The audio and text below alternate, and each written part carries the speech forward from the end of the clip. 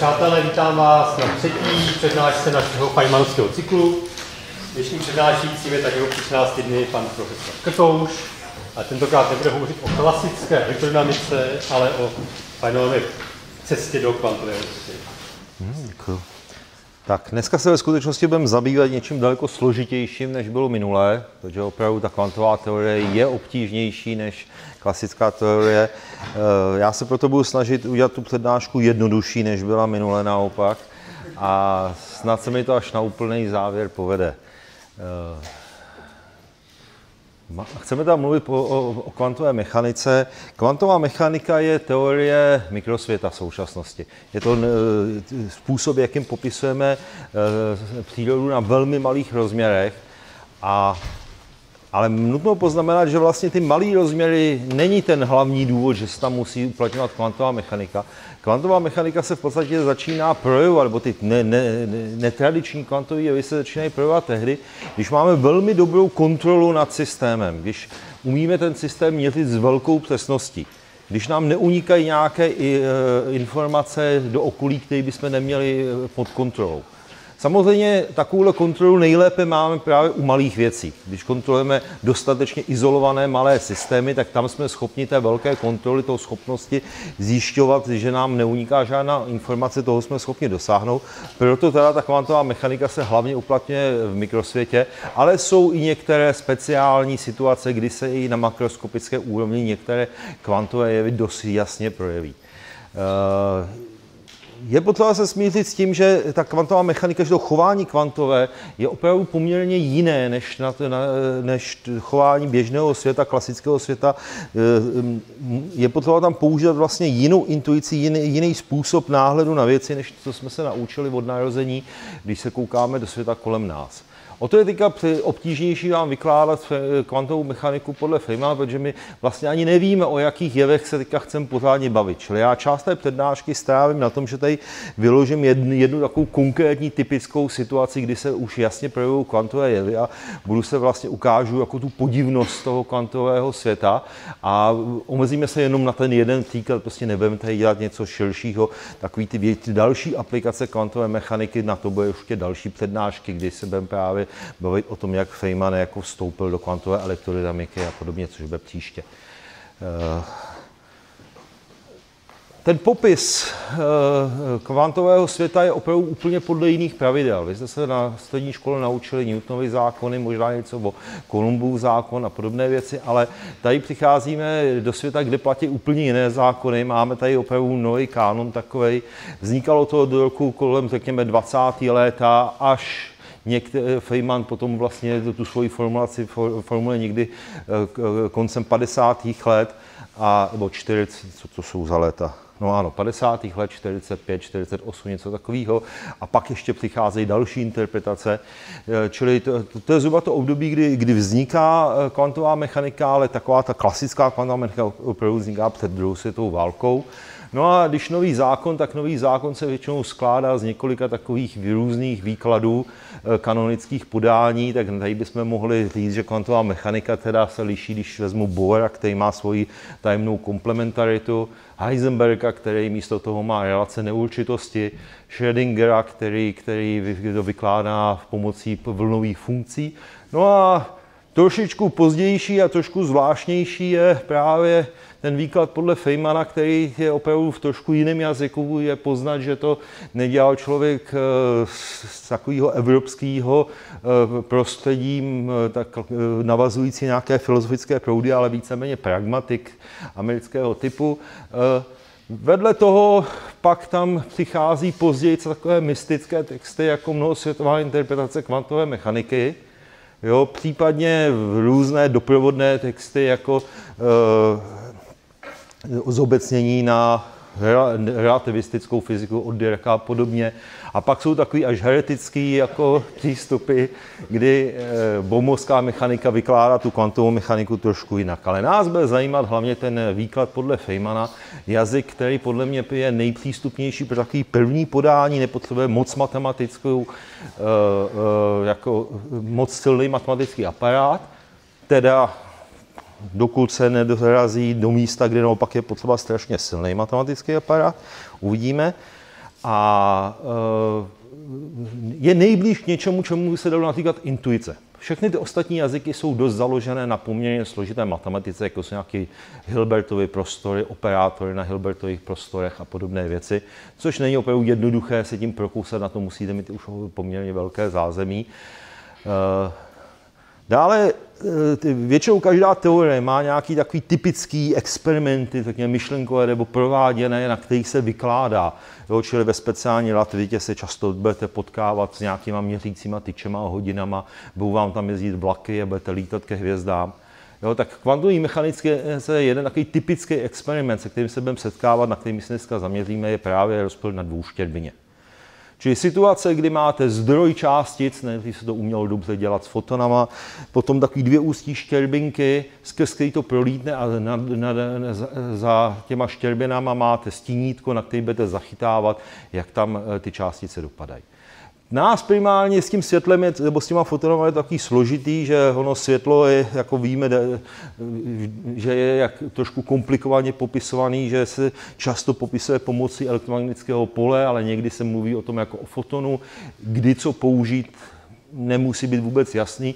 Čili my se zaměříme na situaci, kde opravdu je jasný, že se bavíme o částicích, že budeme posílat elektrony, budeme posílat elektrony skrz dvouštěrbinu a opravdu tenhle experiment se umí udělat, čili to, jak tady budu vykládat, ukážeme, tady ukážeme si i opravdu výsledky toho experimentu, že budeme dělat rozpil elektronů.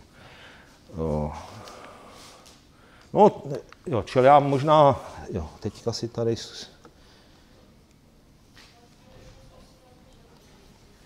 Mám tady připravenou jako takovou, takový laboratoř s tím dvouštěrbinovým experimentem. Samozřejmě tohle ten modelovaný výsledek opravdu skutečného experimentu si pak ukážeme. Tady mám zdroj částic, odkud budu posílat částici, malinkatou štěrbinu. Eh, představujeme si to, že jako ono to má ještě ten rozměr dopředu, já to tady vidím takhle z průřezu, tak ono většinou je to opravdu jako taková tenká štěrbina. A tady je stínítko a pošleme částici a důležité je, že se opravdu bavíme o částicích. Čili jde to udělat tím stylem, že vám proletí jedna částice, když máme štěstí, proletí tou štěrbinou a dopadne na to stínko a tam udělá tečku. Jo, čili ono ne vždycky u toho světla třeba je jasný, jestli je to takhle po jednom kusu, protože se to dělá nějak ze silným světlem, ono se tam rychle nějak obarví ta fotografická deska, tak my to bude opravdu částici po částici. Jo, tak já to tady teďka pustím, zapnu si tady přístroj, a pustím to a oni tam opravdu začnou takhle se objevovat tečky a uh, vidíte, že ku podivu nedopadá to pořád na stejné místo. To je první takový zajímavý rys, že uh, v kvantové mechanice obvykle nám nebudou vycházet deterministické výsledky. Že když uděláte experiment, kde máte všechno připravené úplně stejně na začátku, počáteční podmínky, čili máme pořád stejný zdroj, máme pořád stejnou štěrbinu, nic do toho nešťouchá, nikdo to nějak neovlivňuje, tak přesto jako ty částice po každý dopadnou někam jinam. A to není jako to, že bychom tam něco zanedbali, ale to je eh, jako opravdu bytostná povaha toho světa, že ty, ty mětené výsledky jsou pravděpodobnostní povahy. Že už tady nemáme determinismus. Jediný, co budeme schopni předpovědět, je rozložení, kolik kde těch teček je. Hustotu pravděpodobnosti. Čili já na to jsem si tady udělal takhle eh, to, že si tam můžu vykreslit graf, Čili když si vypočítám hustotu toho, kolik tam těch teček dopadlo, tak tuhle křivku, tu se budeme snažit nějak předpovídat. To, kam konkrétně to dopadne, to předpovědět nelze. Samozřejmě kolem tohle jsou velké diskuze, jestli to není ta jenom nějaká naše nedostatečnost. Jestli náhodou neexistuje nějaká lepší teorie, která by to vysvětlila líp, kam to dopadne, a my jenom neznáme nějaké správné parametry, které o tom rozhodují. Ukazuje se, že pokud platí kvantová mechanika, tak jak ji máme velmi dobře ověřenou, tak za ní taková teorie, která by dodávala i ty detaily, kam to vlastně dopadne, nemůže být. Nebo aspoň ta teorie nemůže být jednoduchá. Jo, dá se dokázat, že jakákoliv lokální teorie, která nemá nějaký nelokální šíření, tak neumí vysvětlit kvantovou mechaniku. Jo, neexistuje ke kvantové mechanice nějaká její varianta skrytých proměný, která by byla přitom lokální. To jsou poměrně silné výsledky už potom ze 60. 70. let kolem belových nerovností a podobně. Čili smíříme se s tím, že opravdu předpovědi budou pravděpodobnostní. Tady vidíme, že se nám ten kopeček udělal právě proti té štěrbině, nebo možná takhle, tady mám tu štěrbinu, tak proti ní se udělal ten kopeček. Mohli bychom teďka si tady otevřít tu štěrbinu někde jinde,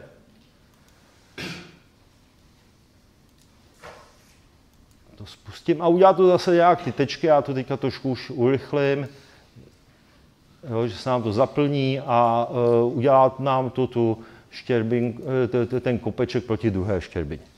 Tak tohle je něco, co bychom ještě celkem pochopili. Ono i na klasický úrovni, kdybyste vzali pistole, začali střílet do nějakého tenkého okna, tak ono to tam na, stěně zatím bude se taky tak rozpilovat, protože ono to někdy škrtne ty okraje toho okna a prostě se to bude nějak tak jako tam mít menší rozpil, taky jako jak na to mířím. Jo, čili i, klasicky bychom čekali něco takového, že, že se nám může vytvořit takovýhle rozpil. A teďka je otázka, co když otevřeme obě ty štěrbiny najednou. Čili dám si tady ten No tak, a já tady neukážu teďka ten modelový příklad, ale ukážu opravdu výsledek toho experimentu, který se provede.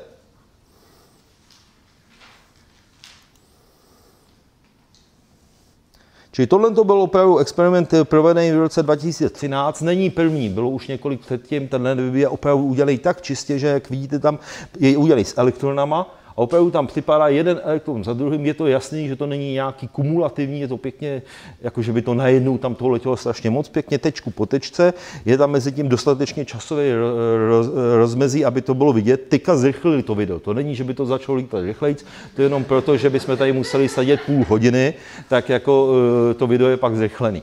Jo, ale opravdu je to pomalu takhle vytečkovaný a vidíme, že se nám tam vytváří jakási struktura, která eh, je vlastně zajímavá, že to asi není to, co bychom očekávali.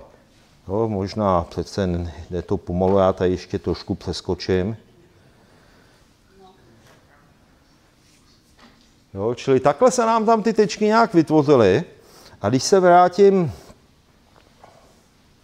k tomu vlastně, co ty tečky znamenají, Jo, to v tom našem experimentu znamená, že jako za, tě, za tou dvouštěrbinou sám tam objevuje ten, eh, ten, ten obrázek. Jo, a vidíme, že tady je jakási, jakýsi mí, víc hustý a méně hustý a je, dělá takový pásky. Že to není taková obyčejná kupička, jako jsme tam viděli předtím, ale něco zajímavějšího. Čili se koukněme, vrátíme se teďka do toho mýho modelového případu.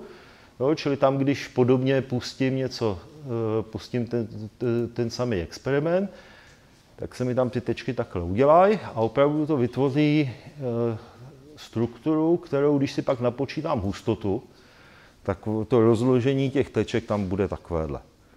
Jo, že najednou to není jakoby jedna velká kupička, jako by možná člověk čekal, když je tam místo jedný štěrbin, tak tam víc toho místa, tak by to mělo nějak dohromady. Ne, udělalo se tam něco, čemu se říká interference, něco, že se tam něco skládá, něco jakoby někde ruší. Tohle zase není úplně překvapivý obrázek. Tenhle obrázek e, známe v jiné situaci. Představte si, že tohle je hladina vody a e, ten zdroj není zdroj částic, ale je to takový plovák, kterým takhle budete tam hýbat a ono to bude dělat vlnky. A teďka to půjde k bariéře a v té bariéře jsou nějaké dvě dírky a skrz to ty vlnky projdou, čili vlastně od každé ty dírky se budou šířit takový kruhový vlnky. A tady na, na konci budete mít zase plováčky, které budou měřit, jak moc se tam hýbe ta, ta voda. A zjistíte, že prostě tady se budou někde skládat ty vlnky, co přicházejí z těchto dvou otvorů a někde se budou odčítat. A typicky to vytváří podobné obrazce. Proto se tomu říká právě interference, že tam nějak spolu to jako e, se skládá, rozkládá. Čili tohle to je typicky, čemu se říká vlnové chování. Jo, že to známe z vln ve vodě, zná se to z vln právě z těch elektromagnetických vln, ale pozor, tady je to opravdu pořád pro ty tečky. Jo, to není nějaký, že by se tam šířilo to celé najednou, pořád posíláme tečku za tečkou a každá ta částice jakoby tam udělá svůj puntík, nějak se tam musela dostat. A to je teďka zajímavý. Eh, já možná, než to budu dál vykládat, eh, jako, o co tam všechno jde, tak zkusme si to poslechnout přímo od Feynmana. Bude to anglicky, bude to, jako možná tomu nebete všemu rozumět. Já to pak budu vykládat ještě jednou jako eh, česky, ale ono někde stojí to Feynmana vidět a opravdu je to, i, když tomu nebete rozumět, tak stojí za toho vidět, jak to vykládá. Jo, čili pojďme se Jo, tak tadyhle jsou ty obrázky najednou nakreslený, jako to jsme měli. A tady pustím toho Feynmana.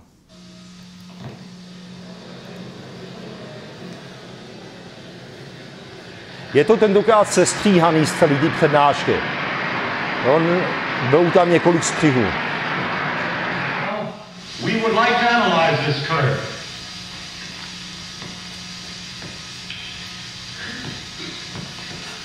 And we try this. We say maybe it comes, we can analyze this by thinking that the electron through this hole or through the other. So we can close one hole and measure how many come through hole number one, and we get that curve. Or we can close this hole and measure how many come through hole number two, and we get that curve. And these two added together is not this, and so this is not the same as N1 plus N2. I will summarize then by saying that electrons arrive in lumps, like particles. But the probability of arrival, of arrival of these lumps is determined like the intensity of waves would be. And it is in this sense that the electron behaves, as you might say, sometimes like a particle and sometimes like a wave. Behaves in these two different ways at the same time. It's obvious that we should conclude that this proposition is false. It is not true that the electron either comes through hole number one or hole number two. Maybe it divides itself in half temporarily and so on. So proposition A is false. That's logic. Unfortunately, or otherwise, we can test logic by experiment. And so we just have to do to find out whether it's true or not that the electrons come through hole one and hole two, or maybe they go around through both holes, they split up. We don't have to do. All we have to do is watch them.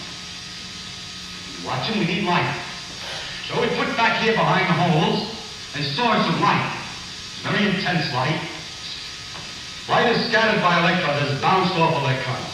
And you, in other words, you can see electrons if they go by if the light's strong enough. So we stand back here and we look to see whether we see when the electron is counted here, a flash, you'll have seen the moment before the electron is counted here, a flash behind hole one or a flash behind hole two, or maybe a sort of a half flash in each place at the same time. One, I watch behind one, and what do I see? I see this curve. That column is distributed this way. Just like we thought when we closed hole two. Works the same way whether we're looking or not. When we close hole two, it's the same distribution. In those that arrive as if we are watching. And uh, likewise, the number in this column that is supposed to arrive in hole number two is also a simple curve. Now look, the total number which arrive has to be the total number. I just counted little marks. It has to be the sum of this number plus that number. The total number which arrive absolutely has to be the sum of these two. It has to be distributed this way. But I said it was distributed this way. It's distributed this way. It really is what it be. It is. It's distributed this way. In other words, we get a different answer whether I turn on the light or not. If I have the light turned on, this is the distribution which you measure over here. If I turn off the light, this is the distribution which you measure over here. Turn on the light, this is the answer. Turn off the light, that's the answer. See, they just squeeze out.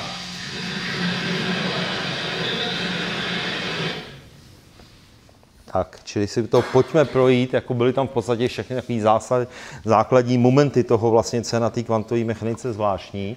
Tak, čili co jsme tam viděli, že máme jednu, jednu experimentální situaci, kdy máme tady dvouštěrbinu, poslali jsme spoustu částic, a já už tady budu kreslit jenom tu hustotu a vytvořilo nám to nějaký takovýhle obrazec.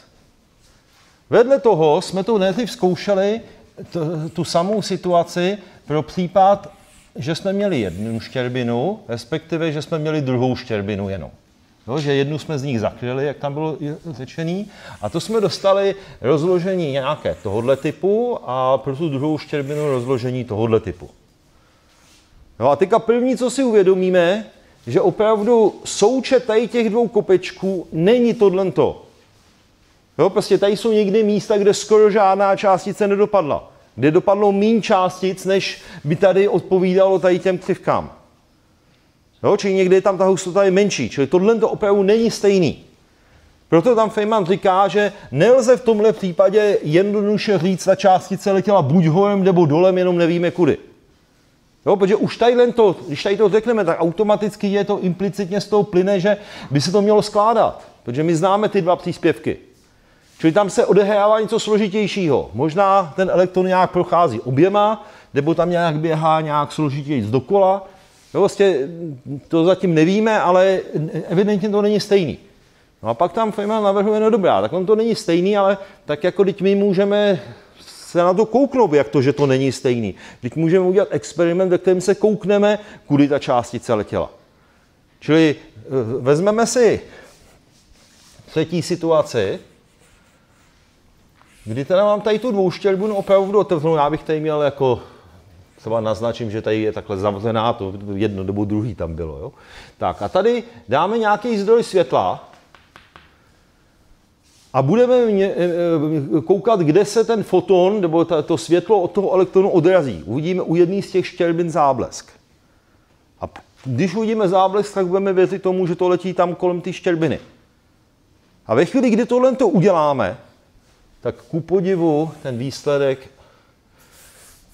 tady máme tu stínítko, ten výsledek vyjde takhle. A opravdu to bude tak, jo, čili pojďme si to tady namodelovat. Jo, to, co opravdu dostaneme, je, že dáme si tam dobrý detektor. Já tady mám jo, už nakreslený takový ty detektory, co budou měřit to na jedné a na druhé straně. E, zatím si to spustíme všechno a startuju. No a to, co z toho dostanu,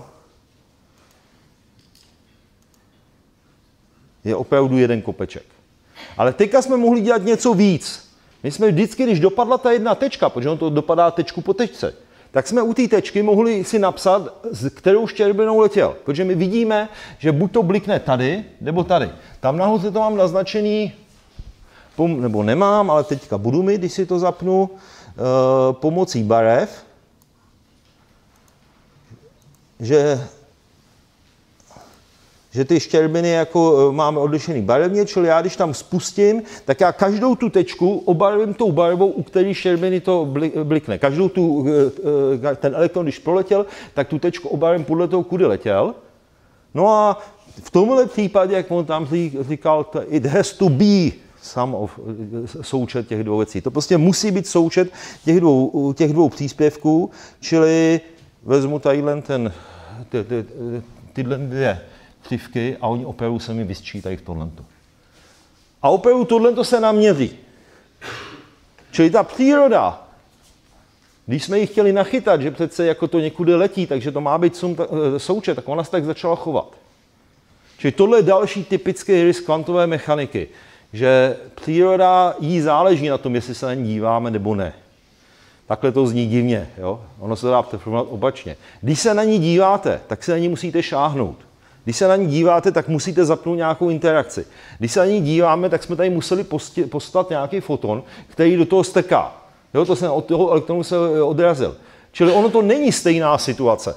Ta příroda má právo mít jiný výsledek, protože my jsme změnili experimentální uspořádání. My jsme najednou tady prostě udělali interakci navíc a v jistém smyslu si to můžeme představit tak, že to, jak to tady steká do těch elektronů, tak ono to rozmazalo tenhle obrázek, jo, to stekání. Že tím koukáním na to jsme to nějakým způsobem ovlivnili. Jo, čili e, není to něco nesmyslného, že najednou dostáváme jiný výsledek.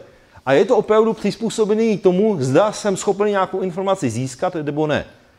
Čili na kvantové úrovni je důležité, zda jsem schopen něco naměřit, zda mám nějakou interakci, která něco zjišťuje, a nebo zda tam žádná interakce není, která by to zjišťovala. Žádný měřící přístroj tam není. V takových dvou situacích se ta příroda chová různě.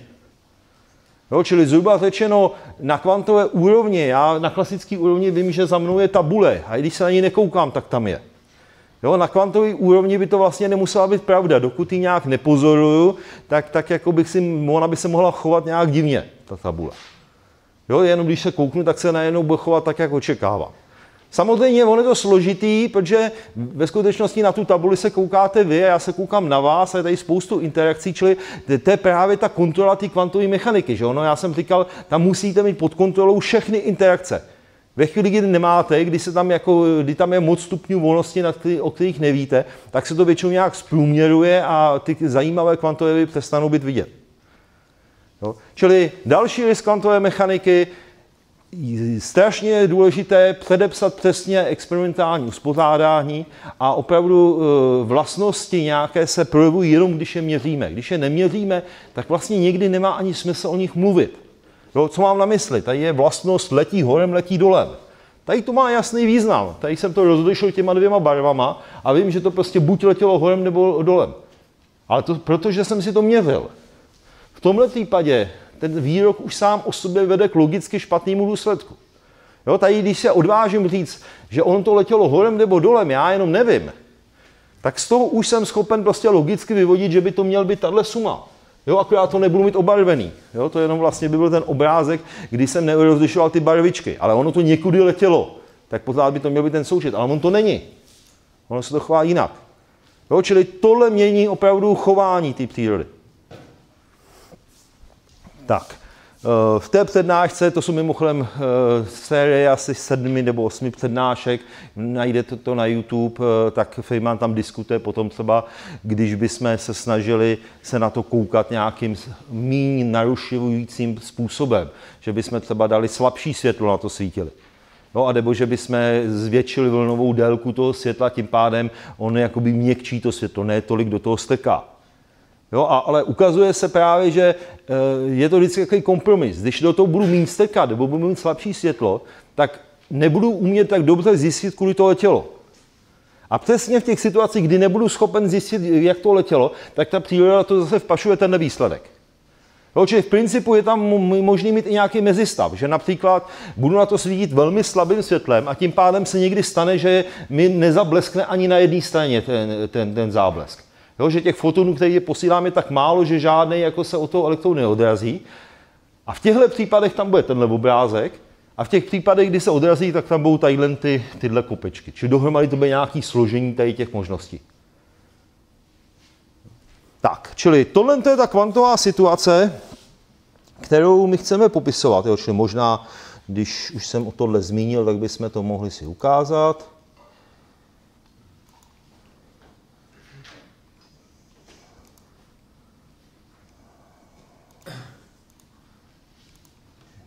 A zase já to urychlím.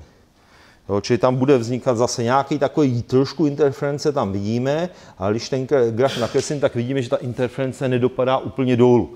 A kdybych to teďka si obarvil podle toho, kdy mi to zablesklo, kdy mi to nezablesklo, jo, že čili budou tam mít červený, modrý, ale i nějaký šedivý, který budou odpovídat těm případům, kdy, kdy mi to neblesklo, tak se mi to rozloží na tři křivky.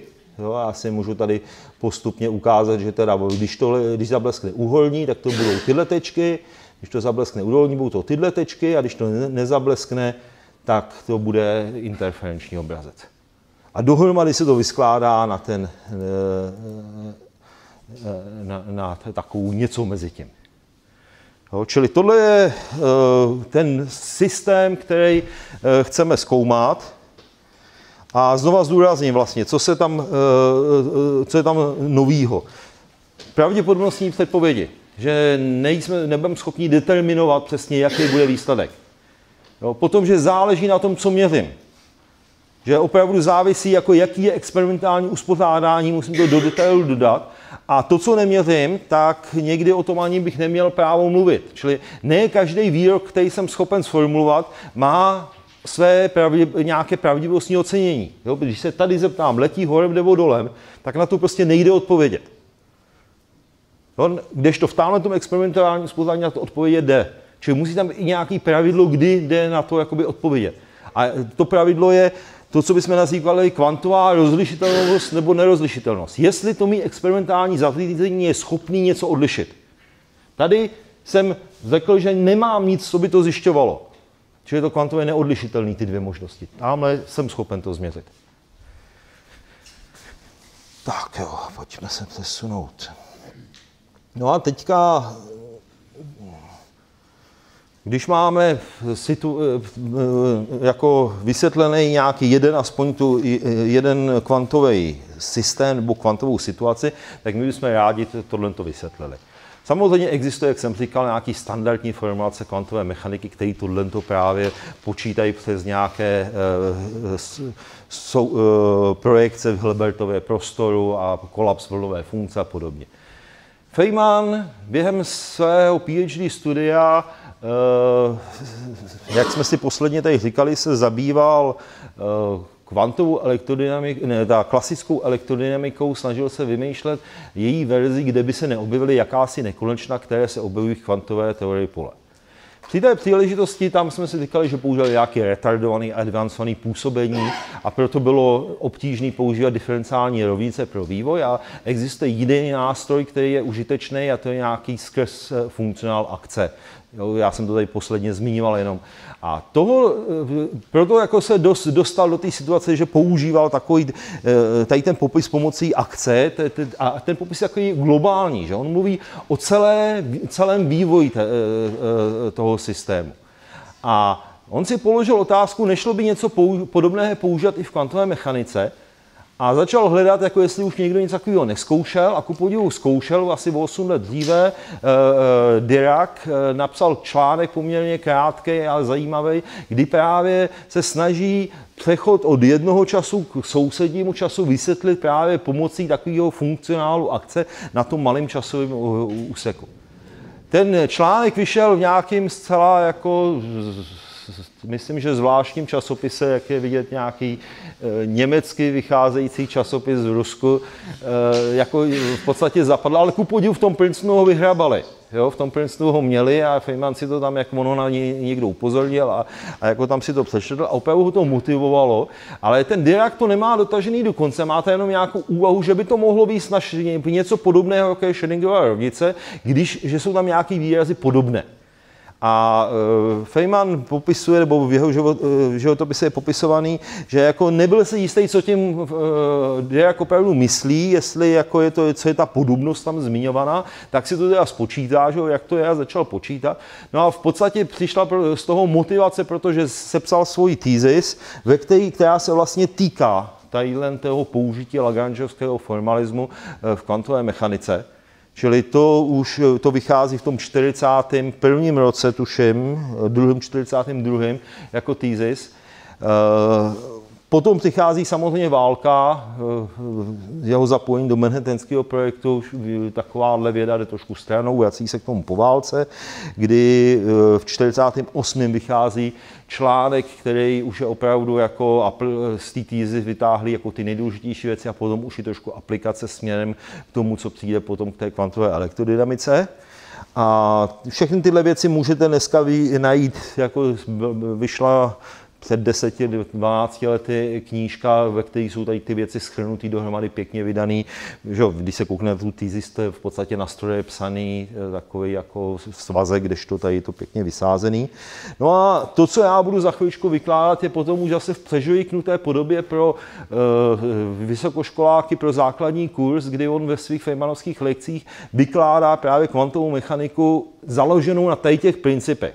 Ono je to uvidíme, já na konci pak ukážu ty aplikace do opravdu reální fyziky trošičku, ale tohle to je spíš zase třeba na vysvětlení toho dvouštěrbinového experimentu a podobných jednodušších modelů, tak to, to, to on odvykládá právě v těch Feynmanovských eh, lekcích z fyziky. Eh, je fakt, že já tady to budu mít možná trošku víc ve vzorečcích, on to tam víc opovídává, ale je to velmi čtivý, jedná se teda o třetí díl. Eh, přednášek z fyziky, které jsou věnované kvantové mechanice a eh, myslím si, že na získání intuice o tom, co je to kvantová mechanika, je v podstatě nutný si tohle aspoň prolistovat, pročíst některé kapitoly. Oni jsou tam potom různé aplikace na některé konkrétní systémy. Některé věci to už můžou být dneska trošku víc zastaralé, ale pořád je to jako zcela základní pohled na to, jak jde kvantová mechanika vykládat. Čili pojďme si vyložit ty pravidla, které by nám mohly osvětlit tady ten dvouštěrbinový experiment a po, po, pomoct spočítat tyhle, ty předpovědět tyhle ty ktivky. Jo, kde se tam vůbec vezmete tady nějaký to skládání e, něčeho, když se jedná o částici jenom. Jo, když to tady ne, není žádná vlna, čili jak, jak, jako, jak to tam funguje. Tak e, základním pojmem e, v tomhle jazyku se často dneska používá pojem historie, tím mějme na mysli vývoj částice, jo, její trajektorii. Jo, že prostě ono se to používá i pro obecnější systémy, prostě celý možný vývoj toho systému, my se budeme zaměřovat na tu jednu částici, čili její časo, časovou trajektorii. To je ten základní. A, ale budeme to trošku používat ještě obecnějc. My totiž tu trajektorii ne vždycky zadáváme úplně přesně. My často zadáváme jenom omezení na ty trajektorie. Třeba u té dvouštěrbiny vlastně říkáme, začíná to tady, pak to prolítne několik tady a pak to udělá tečku tady. A víc tomu nedodáme. My tam nemáme žádný další měřící přístroj, který by zjišťoval, kudy to letělo. Čili ta historie ve skutečnosti zahrnuje všechny tyhle možné vývoje. Jo, čili to, co budu nazývat historií, bude jakoby takovýhle výrok, o, o, co o, tý, o tom systému vím, jakoby. Nebo co můžu sformulovat pomocí toho experimentálního uspořádání. Nejjednodušší, jak si to představovat, je, že si budu představovat, že mám tady opravdu trajektorie a to, co nazývám historie, je nějaká množina těch trajektorií. Jo, je to, co mi ty omezení vyberou, čili možná na obrázcích to bude jasnější. Eh, je to tady časoprostorový diagram, ale taky to není moc důležitý, že prostě takhle mám čas, nahoru běží čas a vždycky v každém čase to někde mám tu částici, či tohle je jedna možná trajektorie. Tomu budu říkat elementární historie. Jo, když to bude ta jedna trajektorie, nic víc, jedna možná cesta, jak to z tohohle bodu doletí do tohohle toho bodu, to je elementární historie a to, co budu nazývat jako historie, jsou většinou takové množiny, že já tam budu mít nějaké omezení, já budu říct, no v čase jedna to bylo někde tady, v čase dva to bylo tady, v čase tři to bylo tady. No a ono, toto mi vybere nějakou množinu všech těch trajektorií, které tomu vyhovují. Čili to budu nazývat historií. Takový třeba typický zajímavý eh, historie jsou, které jsou určeny jenom počátečním a koncovým bodem a mezi tím nevím vůbec nic. Jo, proto se pak předpočítá nějaký vzoreček pro takovýhle e, pravděpodobnosti, jo, prostě pro takovýhle historie a to se pak nějak bude dál používat. Tak a teďka, tak to je název sloví, to je pojem historie. E, jak my můžeme tu historii chápat? My to můžeme chápat opravdu jako výrok. Jako, že to vlastně výrok o tom, co se stane. Jo, jak říkám, částice začne tady, prolítne tady, dopadne tamhle. A nebo tamhle říkám výrok, tady můžu dokonce říkat, letí tady, prolítne horní štěrbinou, dopadne někam tam.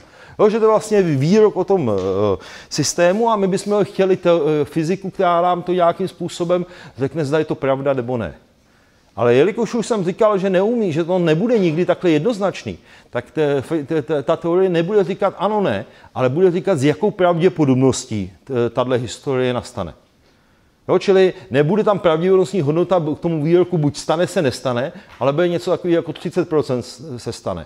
Jo, to je trošku zvláštní, jak můžu oceňovat pravdivost jako uh, pravděpodobností, ale jak není to zas tak zvláštní. Když se koukáte každý den na předpověď počasí, tak tam přesně to samé nám říkají. Jo, že prostě oni neřeknou, zítra bude pršet, jo, ale zítra bude a teďka e, místy pršet, tak to místy je zkrátka, že to je mezi 70 a 90 procenty jo, nebo mezi, spíš mezi 30 a 50, nebo něco takového. Jo? jo, tak prostě eh, je, je, je nějaký jaký slovník, že prostě máme jakýsi ocenění. Jak, to, jak se to ověřuje? No buď tak, že to moc krát zopakujete podobný experiment se stejnými podmínkami a uděláte statistiku. Jo, a ta pravděpodobnost vám pak říká, kolika případech co nastalo. A v trošku v obecnějším smyslu to neprůměrujeme přes stejný experiment, ale jako průměrujete to přes všechny předpovědi té teorie. Jo, že jako eh, vy budete tady tomu ocenění pravděpodobnostní prostě věřit, budete podle toho vsázet třeba. Jo, že prostě budete to brát jako orientační údaj, kolik máte na co vsadit. Když se to podle toho budete řídit, tak budete neprohrávat. Jo, kdežto, když se budete řídit podle hvězd, podle, podle já nevím, astrologů, tak budete většinou prohrávat. Jo, průměru za dlouhou dobu. Jo, to je ten rozdíl. On to není jistota, co vám řeknu, ale víme, že ta teorie dává nějaké ocenění a to ocenění je zprůměrováno přes hodně experimentů úspěšných. Čili tohle to bude, co budeme očekávat od eh, té kvantové mechaniky, že ocenění bude pouze pravděpodobnostní. No a jak jsem říkal, ne každý výrok bude ocenit. Tady se nemůžu zeptat, nebo zeptat se můžu, jako jestli to, jak, z jakou eh, historie, že tohle začne tady, proletí tady, dopadne sem. Ale na tuhle otázku mi ta teorie nedá odpověď. Jo, čili ta teorie tam bude mít některé otázky, které sice jdou sformulovat, ale není na ně ocenění, protože prostě nemá smysl. A to bude nastávat, a aby jsme viděli, kdy to nastává, no to je to, když nám experimentální uspořádání umožní to odlišit od zbytku. Jo, čili pravděpodobnostně ocenit umím pouze ty situace, které mi experimentální uspořádání umožňuje odlišit. Tady nejsem schopen rozlišit horní a dolní štěrbinu, nemám tam nic, co by se na to koukalo, žádnou interakci tak proto nemají smysl tyhle dvě historie zvlášť oceňovat pravděpodobností. To prostě nejde. Jo, čili pravidlo je, že když je něco kvantově rozlišitelné, tak můžu tomu přizadit pravděpodobnost.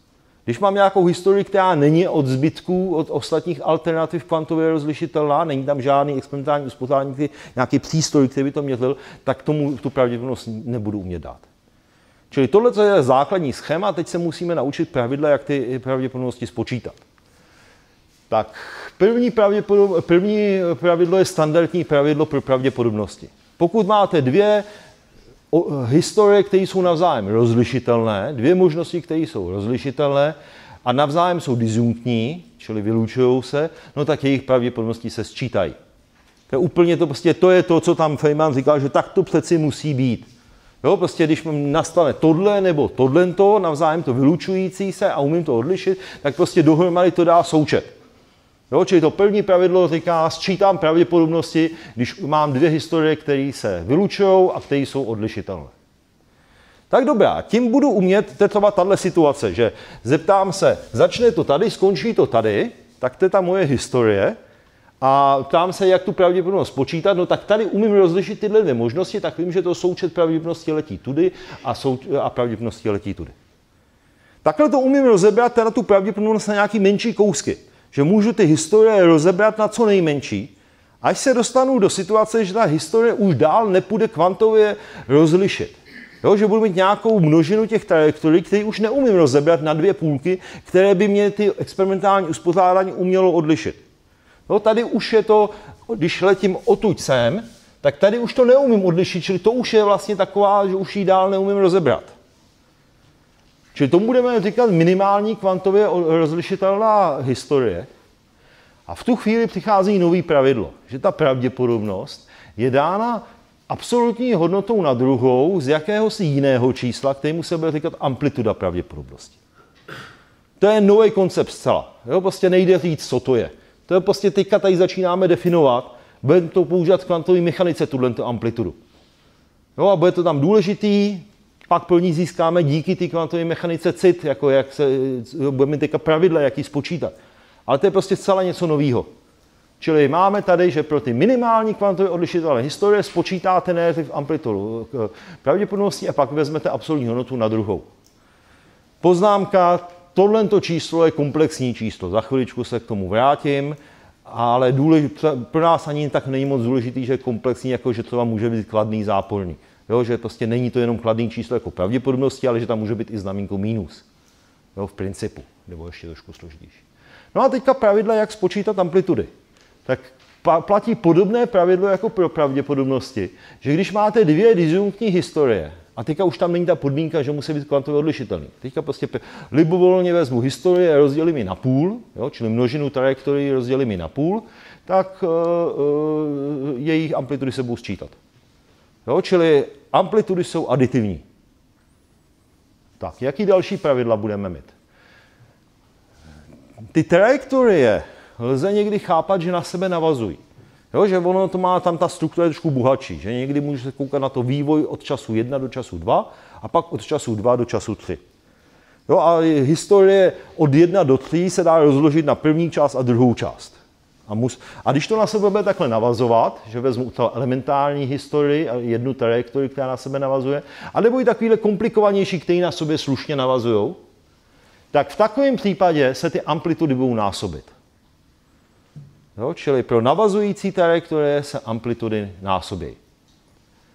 Podobně to my moc potřebovat nebudeme, ale když budete mít vedle sebe dva systémy, které spolu nějak moc neinteragují, který prostě ne popisují jeden, pak popisují druhý a pak se tam, jak se to popisuje na jednou. Tak tam se ukazuje, že taky amplituda toho společného výroku to je součin amplitud tě každého toho systému zvlášť. Moc teďka nebudem potřebovat, tak já to přejdu rychle.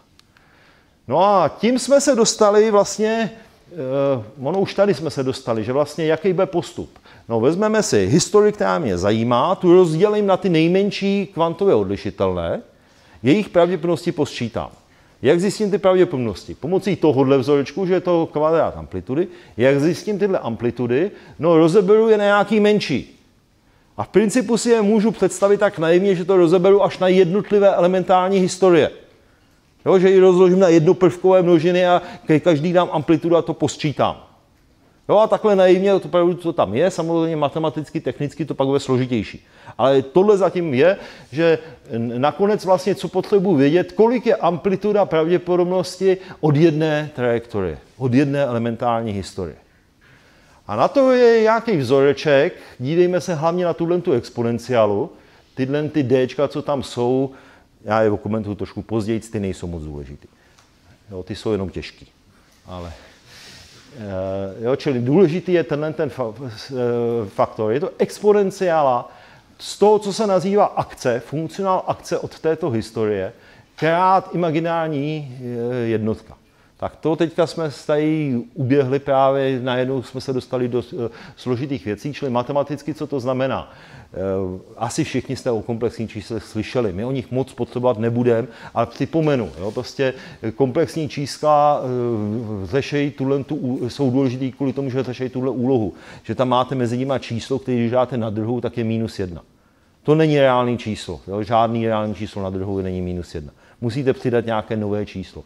A potom přidáte všechny možné lineární kombinace. Čili obecné komplexní číslo je Reálný číslo plus i krát e, imaginární.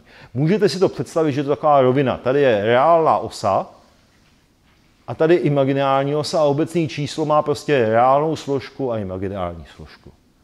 Jo, tomu se říkalo dřív, že máte komplexní personální posudek, jo, skládající se ze, z reálné a imaginární části. Jo, tak to je komplexní číslo. Nás bude víc zajímat jiná reprezentace toho čísla, Konkrétně vezmu si teďka číslo, který leží na jednotkové kružnici. Jo, nebudu brát úplně všechny, vezmu ty, které leží na jednotkové kružnici, tak víme, že ty mají složky kosinus a sinus. Jo, bod na jednotkové kružnici. Čili musí to být právě číslo tvaru kosinus phi plus i krát sinus. Kosinus je tímhle směrem, sinus je tímhle směrem. A ku podivu, tohle je přesně ta exponenciála i phi. Jo, to nebudu teďka tady nějak dokazovat, vysvětlovat, tohle mě uvěřte, že tato, tyhle čísla jsou právě dány, můžeme to brát jako definici tady ty exponenciály. Čili pod tímhle tím eh, obrázkem, pod tou exponenciálou z i phi, si představte takovou hodinovou ručičku, která je natočena o úhel phi od nějaké nulové polohy. Jo, a podle toho, jaký to phi je, tak jste různě natočený na té jednotkové kružnici. Tohle nám úplně bude stačit. Jo, čili Teďka musíme k tomu druhému složitý věci, k akci.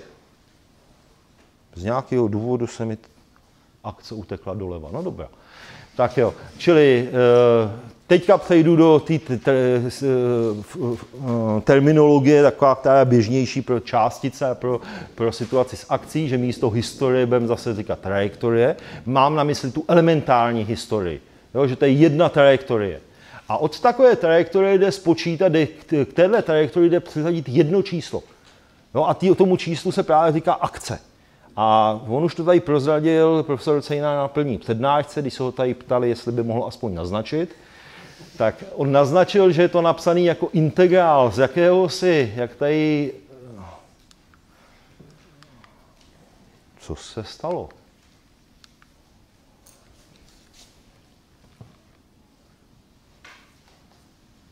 No to snad ne. Tak já se omlouvám. Tady mi kousek chybí, tak já se k tomu, já si to najdu jinde. Dobrá. Tak já to napíšu na tabuli. Jo, čili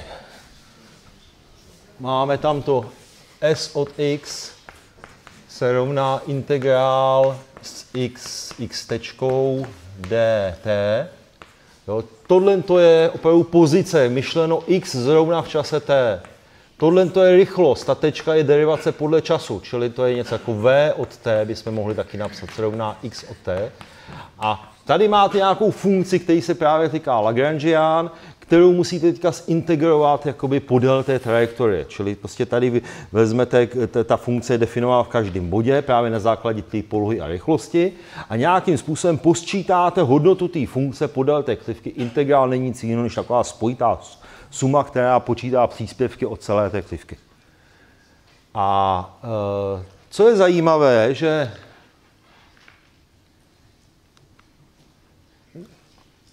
na klasické úrovni, nerelativistické úrovni, jak je ta funkce daná, tak ten Lagrangian je dán kinetickou minus potenciální energie. Jo, tadyhle to je jedna polovina pro částici, to bude jedna polovina m tohle V na druhou. A tohle to bude typicky závisí na tom, v jakým, jaký tam je potenciál. Když to bude volná částice, tak tam ani nemusí být nic. Jo, čili tohle je ta funkce, kterou já tam opravdu budu nějakým způsobem integrovat, to je té akce. Tohle to není výmysl Feynmana, tohle to je o století starší, kdy prostě se přeformulovala celá klasická mechanika v řeči právě Lagrangianu, kdy se ukázalo, že místo těch diferenciálních rovnic, což jsou Newtonovy pohybové zákony, jde e, sformulovat e, časový nebo vývoj systému tím, že se zadá tato akce a že se požaduje, že ty klasické řešení jsou extrémem téhle akce. Jo, představte si, že tady vynáším trajektorie, všechny možné trajektorie. A tady vynáším eh, to esko a ono to tam dělá něco takového. Samozřejmě těch trajektorií je strašně moc, tady jsem to naivně nakreslil jako jednu osu. Ale prostě udělá to něco takového. A tvrzení je, že to správné klasické řešení, které vyhovuje Newtonovým zákonu, je to, který je tady minimum, respektive extrém stačí. Jo, to je tam zapsaný tím delta S je nula. Delta S znamená, že když se trošku posunete, tak ono se to vlastně nezmění. Tím, že jste v extrému, tak v tom blízkém okolí je to pořád stejný. Kdyby jsme byli někde tady, tak když se trošku posunu, tak se to zvedá nebo zmenšuje. Jo, čili ten extrém je právě daný tou podmínkou, že ta akce se při malých změnách nezmění. A tohle to je klasická formulace, tomu se říká princip extrémální akce, nebo nejmenší akce někdy, eh, který mezi všemi možnými trajektoriemi, který tady mám, jo, tady tě možná vybere tu jednu správnou, která je extrémální akce. K tomuhle se ještě vrátíme, jak to ta příroda může vědět, že zóna má vybrat tu extrémální, protože ono to mluví o celém tom vývoji časovým. Jo, to jako říkáme, je to takhle hezky řečený, ale když si představíme, že se to vyvíjí v čase, tak jak ona může dopředu vidět, co bude tam minimální? A to nám ku podivu ta kvantová mechanika trošku naznačí. Tak, ale to byla ta odbočka, co je akce.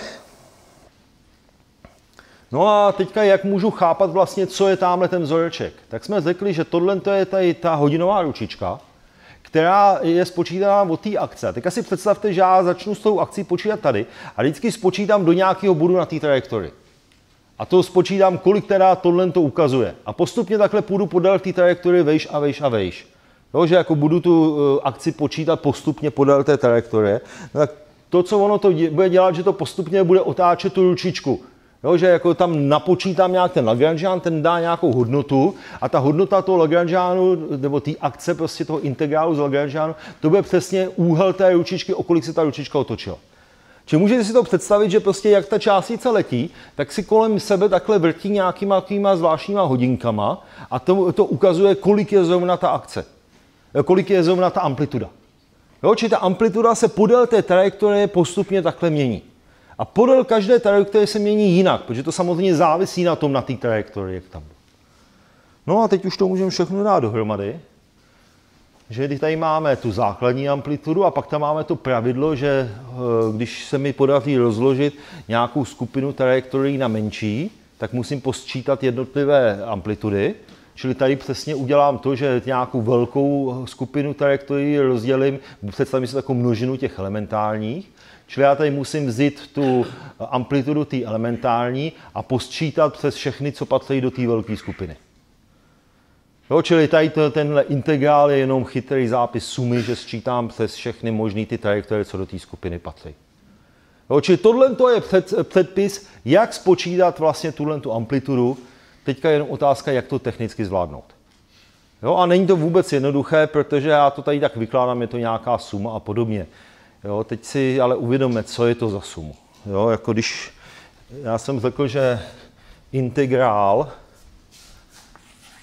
uh, je, jo, když počítám nějakou funkci fx dx, když se takhle napíše, tak to je něco zhruba jako, kdybych řekl, suma přes všechny body x fx.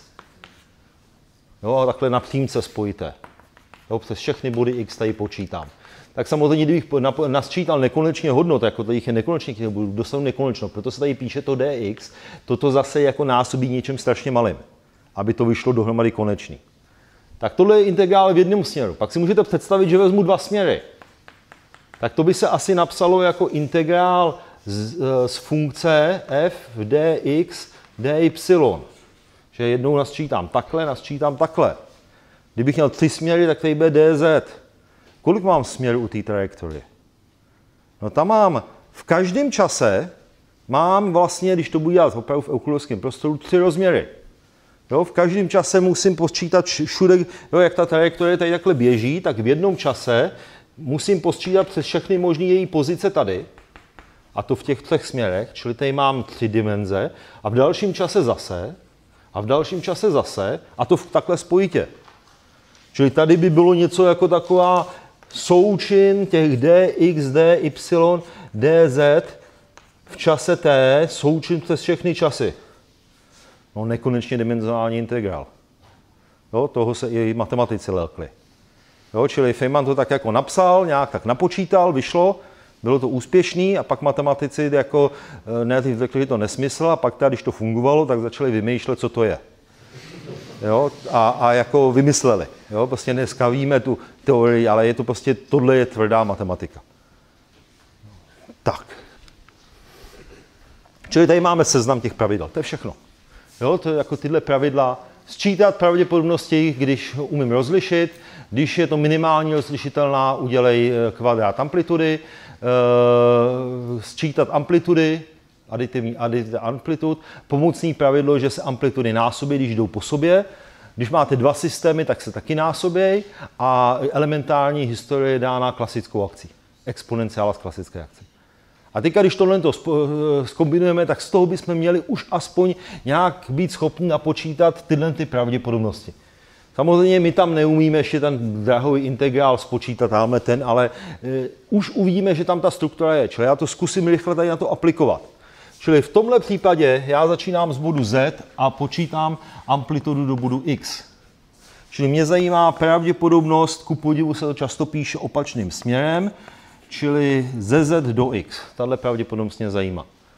Čemu se to rovná? Jak už jsem říkal, tady neumíme kvantově odlišit, kudy to letí. Čili musím hnedka použít pravidlo 2. Jo, to je už ta nejmenší možná historie, kterou dál neumím rozdrobit na kvantově rozlišitelné.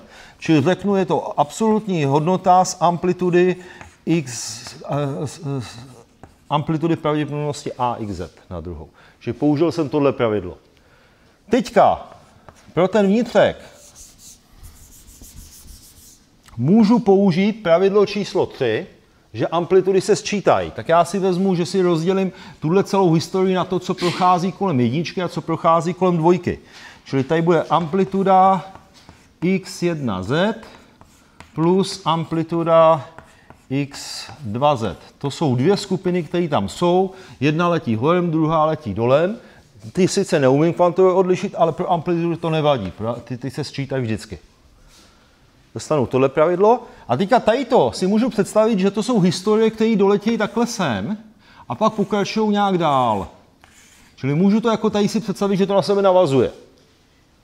Čili tohle to můžu rozepsat jako amplituda x1 krát amplituda 1z plus amplituda x2 krát amplituda z 2 do z na druhou. Jo, čili rozeberu to na takovýhle kousky. A v tuhle chvíli asi už moc víc s tím neudělám, protože teďka musím napočítat tadyhle ty základní bloky. Čemu oni odpovídají? No odpovídají přechodu odtud sem bez žádných dalších omezení.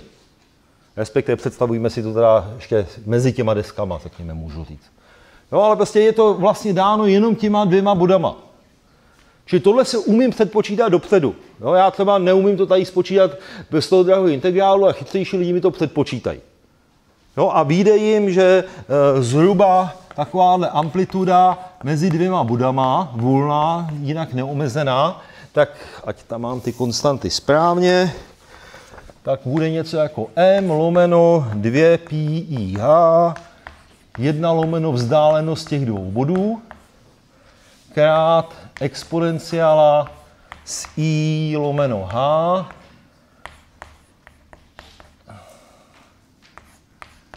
A zase vzdálenost těch dvou bodů. Zhruba tohle, kde to PE je konstanta.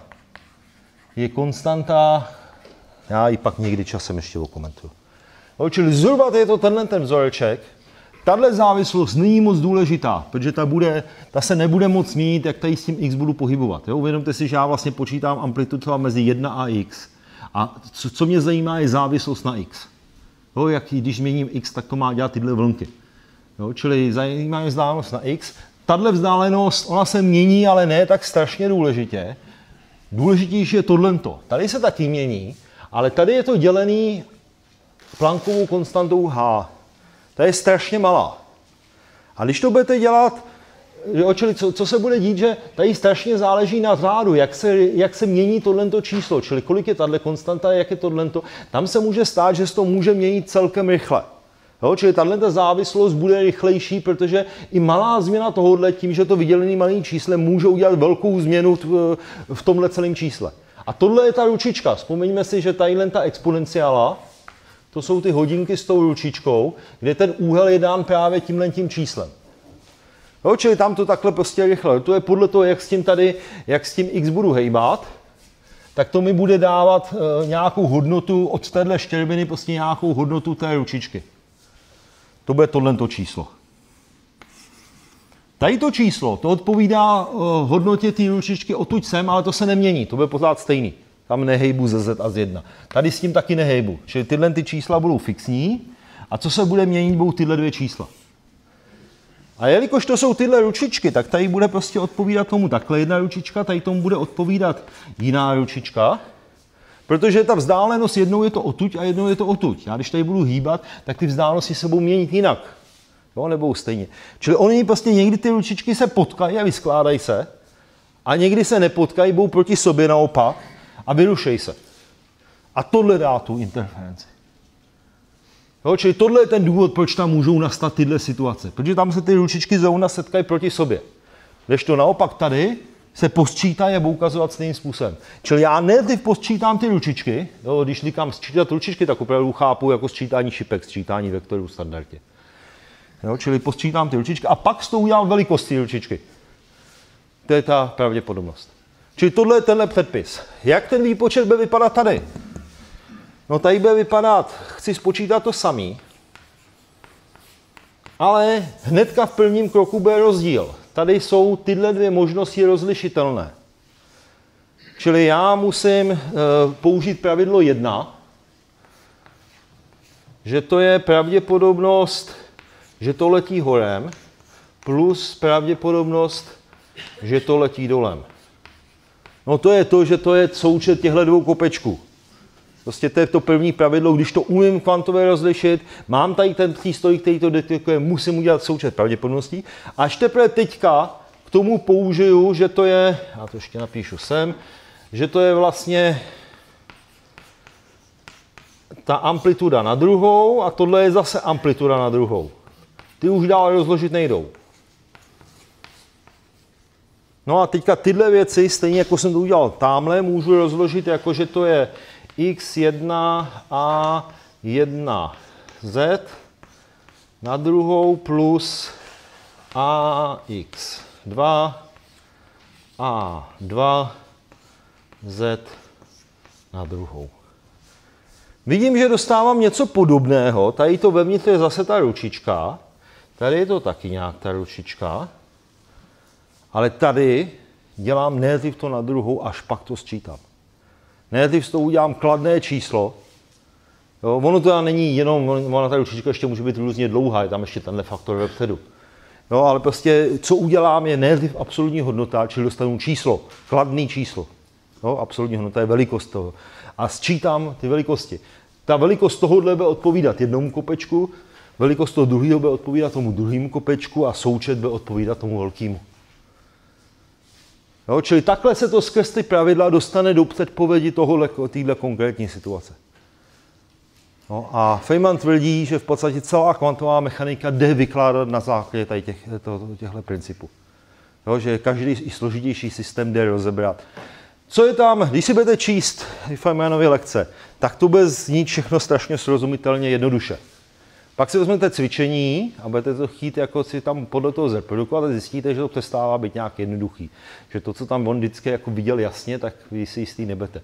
Jeden třeba problematický místo je, že jsem tam říkal, musíte vidět, je kvantově rozlišitelné.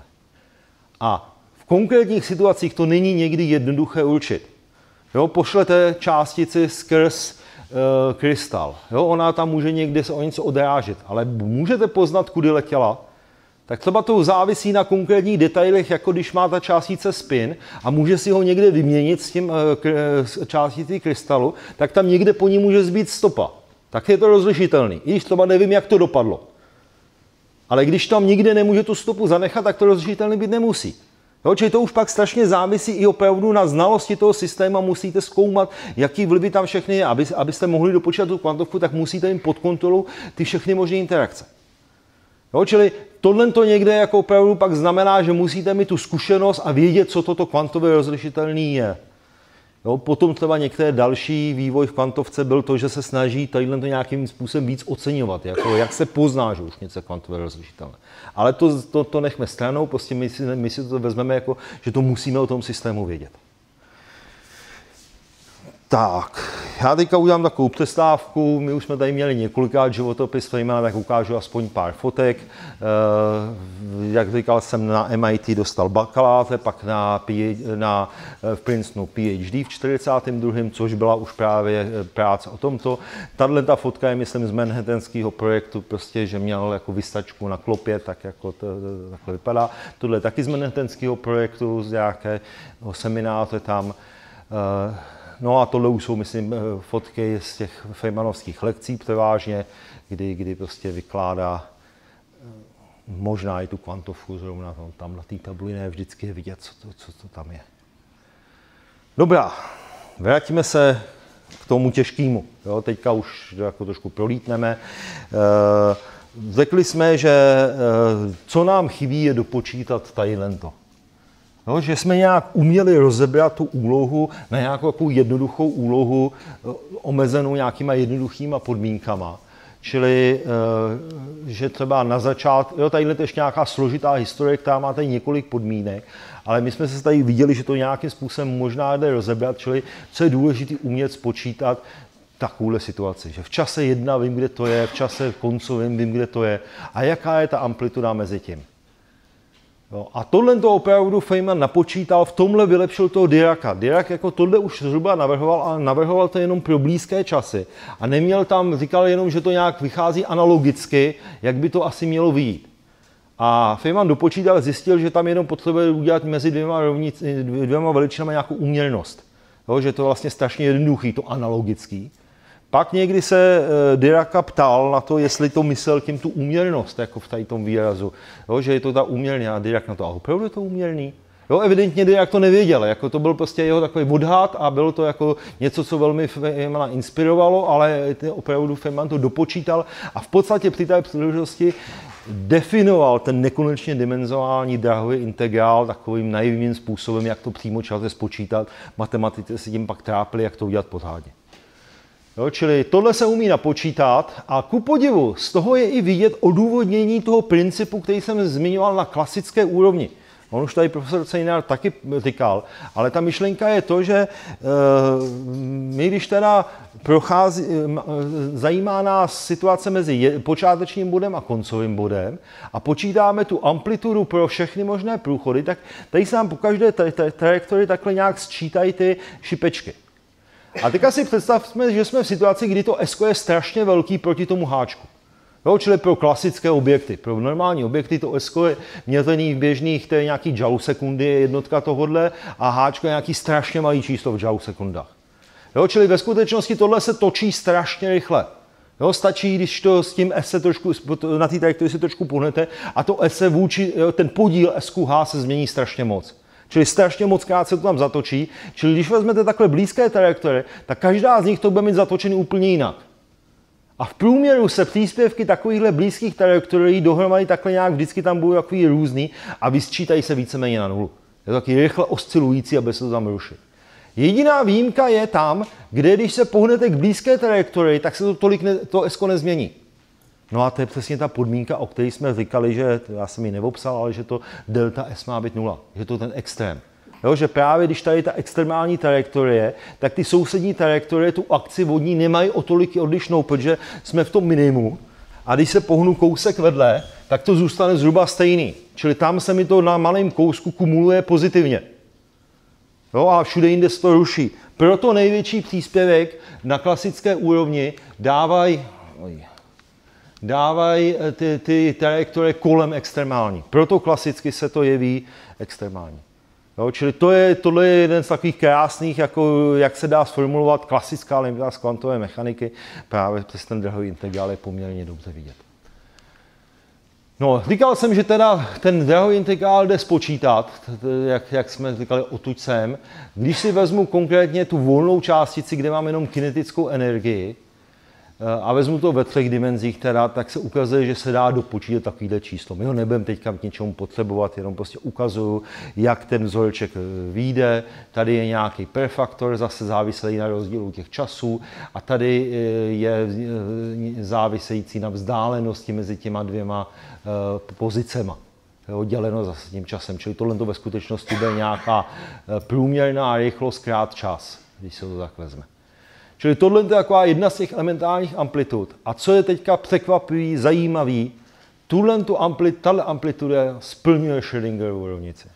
My nevíme samozřejmě, co je Schrödingerova rovnice. To je jenom prozadím z toho jiného výkladu kvantové mechaniky, který vznikl o 20 let předtím a kde prostě se počítá, jak se vyvíjí vlnová funkce a ona se vyvíjí podle Schrödingerovy rovnici. A tahle amplituda tu Schrödingerovu rovnici splňuje. Čili tohle najednou zrestauruje, ten, že to je vlastně o tom samém. Jo, to, to je to, co tam právě e, Dirac jenom naznačuje, že by mohlo nějak vít a, a e, Feynman opravdu dopočítal tu amplitudu, udělal tam správnou normalizaci. On to není jednoduchý. Ta normalizace se tam musí dělat nějaká nekonečná, je to tam prostě zase práce s nekonečný. Jo, a prostě podařilo se mu to a ukázal, že opravdu ten výsledek dobře definovaný splňuje Schrödinger rovnici, čili že to popisuje stejnou teorii, jako popisuje Schrödinger s vlnovou funkcí. Čili že to amplitudu můžete v jistém smyslu chápat jako vlnovou funkci. Jo, čili tady je to spojení. Mimochodem, když si čtete jako tu kvantovku v téhle tý knížce, tak opravdu většinu té knížky vůbec žádnou Schrödingerovu rovnici neuvidíte, až někdy v, v, jako v poslední čtvrtině nebo něco takového se nakonec ukáže, že, že to spolu nějak souvisí. Jo? Že většina té kvantovky, co je tady vykládaná, je vlastně bez toho složitého aparátu. No a pak já jsem tady napsal jiný vzoreček, tak já jenom naznačím, jak tenhle ten vzoreček vznikne. On to byl trošičku podvod, že ta amplituda, co je tady, ta je taková správná, že přesně řeknu, v čase TZ je to v XZ začátečním a v čase koncovým je to někde jinde. On se často ten experiment dělá jinak. Jo? Často se to dělá tak, že máte zdroj, který posílá částice dané energie a platí jakási zase relace neurčitosti mezi energiím a tom, kdy je ta částice vyemitovaná. Čili když něco posíláte s velmi dobrou přesnou energií, tak nevíte, kdy to vylítne. Čili ve skutečnosti je to tak, že vy máte, víte, kdy to začíná, ale nevíte kdy. A pak víte, že to někam v nějakém čase dopadlo. Jo, to, je, to je nakreslený v tomhle obrázku. Zase je to obrázek, kde tady běží čas a tady běží jako rozměr. Čili v jednom čase my naměříme někde pozici. A víme, že to někde začalo tady ve zdroji. To je historie zdroje tohleto. Ale nevíme kdy. Čili tady je možnost, jako že to mohlo kterýmkoliv z těchto bodů být nakreovaný a, a dolítne to sem. A jak se tam dostane ještě energie, ta energie mi ve skutečnosti říká, jaká je amplituda pravděpodobnosti toho, že tady ta částice vylítla. Vidíme, že tady se takhle točí hezky pravidelně s časem a ten koeficient, jak rychle se točí, je právě ta energie. Jo, čili tady musíte ten začátek ocenit touhletou hodnotou a pak musíte, potom následuje tenhle ten volný průlet, že tam můžete použít ten vzoreček, co jsme měli na předcházejícím slajdu. Čili ve skutečnosti, co musíte spočítat, je tadyhle to je amplituda toho vzniku, krát amplituda průletu odtud sem, tu už jsme si spočítali před chvílí, a to musíte zintegrovat přes všechny možnosti, kdy to vzniklo, až do toho času, kdy to naměříte. A když tohle to naintegrujete, tak vám vyjde ten vzoreček, co jsem tamhle nějak napsal. V nějaký podobě. Jo, čili to je to, co tam pak Feynman používá třeba v těch cvičeních, protože tohle je taková typická situace, že to je jakoby v eh, tom statickém režimu. No. Tím, jsme se dost, tím jsem odvykládal takové ty jednoduché věci, co jde o kvantové mechanice, jako říct na tom jednoduchém systému. E, samozřejmě Feynman se proslavil tím, že o jemu se podařilo tenhle ten formalismus v nějaké podobě použít ve velmi zajímavé situace a to v tom, že se pomocí toho dalo kontrolovat e, výpočty v kvantové elektrodynamice že ten formalismus nějakým způsobem umožňuje jakoby si rozstřídit výpočty, které v sobě obsahují spoustu i velmi špatně definovaných veličin, nekonečen, rozstřídit do takového způsobu, že to s tím jde spočítat. O tom já tady dneska povídat nebudu, o tom bude povídat profesor Hodejší příště částečně, Jo, čili do toho my utíkat nebudeme, ale nicméně tohle to vznikalo právě po válce, tam byly takové tři slavné konference pro zvané členy, v podstatě v záměr jako těch organizátorů bylo dostat ty mladé vědce, co dělali na atomové bomby zpátky do teoretické fyziky, Jo, tak jako, eh, a tam se v podstatě ne vůbec sformuloval ten problém, co vlastně se musí vyřešit. A opravdu během těch pár let se vyřešil ten problém a našla se správná formulace kvantové elektrodynamiky. Tady je to takový přehled jako velkých jako lidí, jako Schwigner, eh, von Neumann, Wheeler, Bethe, eh, tamhle vzadu je Feynman, Weisskopf vedle, jo, čili to jsou prostě velká jména, z té první konference. No a opravdu to, co tam vzniklo, tak bylo ku podivu nezávisle na sebe vzniklé dvě různé formulace té kvantové elektrodynamiky. Za jednu byl zodpovědný Schwigner, což bylo v takové tradici těch standardních kvantovek spočítaných pomocí nějakých kvantovaných polí a velmi složitého matematického formalismu. Vedle toho podobný formalismus teda eh, používal Tomonaga v Japonsku zcela nezávisle na nich, jo, vypočítaný. A Feynman stejnou problematiku řešil úplně tím jiným způsobem, nějakou, takým tím částicovým pohledem, jak tady jsem teďka naznačoval, pomocí nějakých těch Feynmanových dráhových integrálů se mu podařilo uspořádat stejnou problematiku tak, že se dopočítal podobných výsledků, nebo stejných výsledků, za což byla teda v 65. udělená Nobelová cena. Jo, a krátce teda jako trošku modifikace, co se děje teda v tom případě těch, těch kvantových teorií, čem je velká odlišnost. Tady se to dělá, že se to spojí ze speciální teorie relativity. Že dotyka jsme se bavili o takovým běžný zkušenosti, co máme. Teď, když se děje třeba ta kvantová elektrodynamika, tak to se musí, už musí se vzít vážně speciální relativita. Tak tam vypadá trošku jinak ten, eh, ten operátor akce, je vlastně jednodušší. Je to něco jako vlastní čas podél té světočáry násobený hmotností. No a jde to zase nějakým způsobem nasčítat stejný jako ten integrál. Eh, a to, co se nasčítá té volné amplitudě, se říká Feynmanův propagátor právě podle Feynmana. A co bylo zásadní, že on si, si jako správně zjednodušil značení. Čili já tady velmi rychle jenom naznačím ideu uh, Feynmanových diagramů, i když my se na ně narazíme příště. Prostě ta myšlenka je, no to G, jo, to, co jsme tady teďka definovali, tady se nazývá G, jo, tak, tak to G, tak místo něj budu psát jenom takovouhle čárku. Proč bych se psal s nějakým G, X, Y, já prostě napíšu jen takhle čárku, odkaď kam to je. A právě si to představujeme, že to vlastně suma přes ty jednotlivé trajektorie. Jo, jako kdybych tam tu sumu vynechával, jako kdybych ji tam byl automaticky. Jo, ten integrál tam vynechávám, tady ten strašný, tak budu psát jen takovouhle čárku. A v, tý kvanto, eh, v tom relativistickém případě tohle to jde napočítat, že vypadá nějak takhle. To delta x je rozdíl těch dvou bodů. Jo, čili zase ten vzoreček vůbec jako nejen říkám, že jde spočítat. No a pak tam můžou být nejenom, že to takhle volně letí, ale my tam můžeme zapojit i to, že ta částice s něčím interaguje. Jo, a první nejjednodušší interakce je samointerakce, že ta částice letí a v jednu chvíli zakopne. Jo, a pak zase letí a zase zakopne. Jo, a takhle jako, a vy nevíte kolikrát. Ona nemusí. Jo, nebo jednou, dvakrát. Jo, a každému tomu zakopnutí přizadíme nějakou amplitudu. Nějaký mí na druhou. Jo, čili proces, který tady probíhá, je, že volně letí, zakopne, volně letí. No tak podle našich pravidel znamená, musím vynásobit amplitudy. Volný průlet, krát amplituda zakopnutí, krát zase volný průlet. A teď tam musím posčítat přes všechny možnosti, které neumím rozlišit, musím posčítat tyhle amplitudy. Čili eh, eh, to, co mi tam vznikne, je, že tady já tady sčítám přes všechny ty volné průlety, pak tam sčítám přes všechny průlety, kde to jednou zakoplo, pak tam sčítám přes všechny průlety, kde to dvakrát zakoplo a podobně dál. my, už jsem řekl, že ty sumy psát nebudu, tak tady je to napsané bez těch, bez těch sum jakoby přes ty trajektorie. Je tady jenom ta suma, eh, kde to zakoplo. Přes všechny možnosti, kde to zakoplo. A ty taky psát nebudem, budeme psát jenom takhle tečku. Jo, čili takhle se zkracuje to značení, ono to z toho jde pak zpátky ty rovnice zrekonstruovat. Jo, prostě tadyhle tomu začátku tyhle rovnice odpovídá nějaký takovýhle strašný integrování. Jo, v tomhle se nikdo nevyzná, tohle si každý krát kreslí. Jo, a Feynman si s tím pomaloval auto. Jo, tak jako... Jo. A může to být složitější. Ta interakce nemusí být jenom, že zakupnu sám, ale třeba může být takový, že dvě částice se srazejí a zase rozletějí. Což taky jde v tomhle kontextu mimochodem interpretovat, že jedna se mi rozpadne na tři. To závisí, jak ten obrázek nakreslím. A tomu bude odpovídat nějaká amplituda. A teď, když se ptám, jaká je pravděpodobnost nebo amplituda takového rozptylového situace. Dvě částice a dvě částice odletějí. No tak to se může skládat ze spoustu možností, jo? že to letí volně, že se překřížejí. Oni tady ty částice, když máte částici, která třeba v tomhle případě tady naznačují částice, co nemá ani spin, to jsou jenom sklární částice, tak ono na ní nepoznáte, která je která. Oni jsou všechny nerozlišitelné, všechny jsou stejný. Čili tady jako uh, klidně nepoznáte, zda se tam uplatňuje tady ta možnost, nebo jestli se prohodějí. Jo, jenom poznáte, přiletěla částice v detektoru, nic víc. Jo, čili tam se uplatňují tyhle možnosti a pak se to mohlo takhle jednou srazit. Já jsem tady zase napsal ty sumy, tak já to napíšu bez těch sum, to jsou jenom tyhle obrázky, ale pak se mi pak mě napadne spoustu dalších obrázků. Jo, a těch je samozřejmě nekonečně mnoho těch obrázků, co, vás, co tam může být. Naštěstí ono typicky to lambda je něco malého.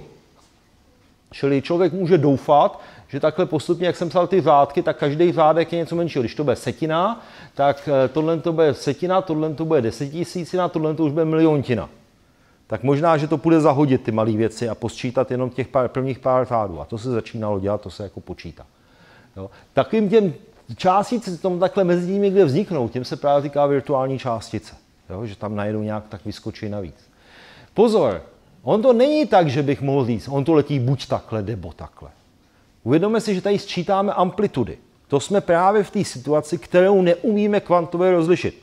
Jo, to používáme sčítání amplitud. V situaci, kdy tam není experimentální zařízení, který by mě umožnilo říct, co z toho nastalo. Čili tady se nemůžu zeptat, letělo to teda takhle, anebo takhle. To tam přispívá oboje. Jo, to jsme opravdu v té situaci tady, že já nemůžu říct, letělo to horem nebo dolem. To je tam prostě oboje prolítává to tím nějak najednou. Tak tady ty částice letějí takovýhle superpozici najednou všemi možnými způsoby. No a tohle to vypadá jako takový hraní. Bohužel on to vede na velmi složité výpočty. Tady zase ty obrázky umím přeložit do těch integrálů. Jo, problém je, že ty integrály jako jsou někdy komplikovaný. Tady třeba si napočítám, my jsme tady posledně na té přednášce říkali, že někdy se dělá trik, že když máte částici, která kolem sebe působí na všechno ostatní, tak můžete započítat působení, který, že tím ovlivním všechno ostatní. A to ostatní zase na ní zpátky působí. A působí i na všechno okolo. Čili já můžu nějak jakoby tohle zprostředkované působení nějak přizadit té první částici. Jo, že ono nebudu počítat jenom její pole, ale i to pole, který ona vyvolá. A tohle je něco podobného, že já jako vím, že ta částice má nějakou amplitudu, že letí od někud někam, ale ve skutečnosti pak jsou tam ještě tyhle jakoby zakupnutí různý, různý interakce, které se tam můžou uplatňovat všechnými možnými způsoby. A já vlastně to, co já uvidím, to, co já budu počítat najednou, je celý ten součet. Jo, čili jakýsi, tomu se říká nějaký obléknutý propagátor, tohle jakýsi holej, nahatej, jako, že, že prostě ho započítám všechny ty příspěvky a tohle je to, co já měřím. Já ve skutečnosti tohle přímo nevidím. Jo, já vidím až teprve ten celý úhrn. Jo, problém je, že třeba už tenhle obrázek typicky vychází nekonečno. Jo, problém je, že se nám tam objevují ty nekonečná. To byl ten důvod, proč oni chtěli počítat tu kvantovou elektrodynamiku bez té samointerakce, bez těch nekonečen, jak jsem posledně říkal. Tady se ty nekonečná hnedka vec použijou, už tady prostě jsou nějaké nekoneční výrazy. Pokud tady jsou ty eh, konstanty, které odpovídají těm tečkám třeba, tak pokud ty konstanty jsou koneční, tak tohle vyjde nekonečně. A teďka přijde právě nějaký úžasný trik, že ono se tam ty nekonečná nějak porušejí. Jo, že se řekne, že se udělá jakási renormalizace a to tak, že já teda chci, aby tenhle výsledek vyšel hezký. A na těch holých konstantách, na těch mi vlastně tak moc nezáleží. Jo, čili trik je, já zvolím tohle ošklivý, tak, aby tohle vyšlo hezký. Otázka je, jestli to jde. Jo, tak to v tomhle obrázku nás může napadnout, že by to mohlo jít. Já si všechny ty obrázky takhle nějak jako přeuspořádám. Všimněte si, že tuhle kombinaci si můžu nazvat dohromady červenou tečkou. A teďka tadyhle tyhle ty kombinace se mi vlastně rozpadnou na dvě červené tečky. Jo? Nakreslete si tam tyhle ty věci za sebe. Tak to se přesně jako rozpadne na tyhle členy. No a teďka, eh, ale pak tam budou i, i že, tu, eh, že tuhle tu červenou tečku musí takhle rozepsat. To jsou tyhle členy. A teďka právě v tom je ta myšlenka, že v těch o, o diagramech se podaří tohle nějak skrotit, zkontrolovat, umět to sezladit, aby tam bylo vidět, zda se ty nekonečná vyrušej. No a že jde ukázat, že v tomhle případě zrovna nějak jako to jde uhlídat, konkrétně v tomhle případě tady je nějaký seznam těch nekonečných diagramů a ukáže se, že na to stačí tyhle tři konstanty, aby se všechny nějakým způsobem skonečnily. Takovýmhle teoriemi se týká renormalizovatelné teorie. Jo, když tohle to jde, když eh, těch nekonečen tam není moc v té teorii a všechny jdou skrotit těma konstantama, co v té teorii už máte, tak je to renormalizovatelná teorie. Když tohle to nejde, jako je to případ gravitace, tak je to nerenormalizovatelná teorie. A to je jenom náznak toho, prostě, čím se prostě ta, ta kvantová, eh, to, co tam Feynman přinesl, není jenom ty pravidla pro ty amplitudy. To je jako je takový celkem počítání na prstech. Ale že ono to byl i velmi silný nástroj pro počítání složitých, těžkých problémů a vlastně vyznání se v nějakých nekonečných. Jo, a to bylo jako něco, co... Jo, prostě Schwinger to ve skutečnosti vyřešil jakoby matematicky poctivějc a líp v jistém smyslu. Ale uměl to používat skoro jenom on jo, a pár dalších. Jo, když to prostě ty, to, ty, ty Feynmanovy diagramy jako ty byly velice účinný. Schwingner se je samozřejmě znal, nebo já nebudu prozrazovat historik, nechám to Jirkovi na příště to, tohle. Jo, ale prostě eh, je to ekvivalentní, ale síla toho Feynmanova přístupu bylo, že to bylo nějakým způsobem přehledné, přijatelné, srozumitelné. Pak přišel Dyson, nebo hnedka to, který ukázal, že tyhle dva přístupy jsou ekvivalentní, který mu se podařilo přeložit ty Feynmanovy diagramy do toho, teorie lokálních polí a opačně. Jo, čili ono se celkem rychle vyjasnilo, že ty přístupy vedou, mluví o tom samém. Přesto je jako dneska typická přednáška z kvantové teorie pole se bez Feynmanovských diagramů vůbec neobejde. Je to vlastně základní nástroj, který se používá. A tím skončím.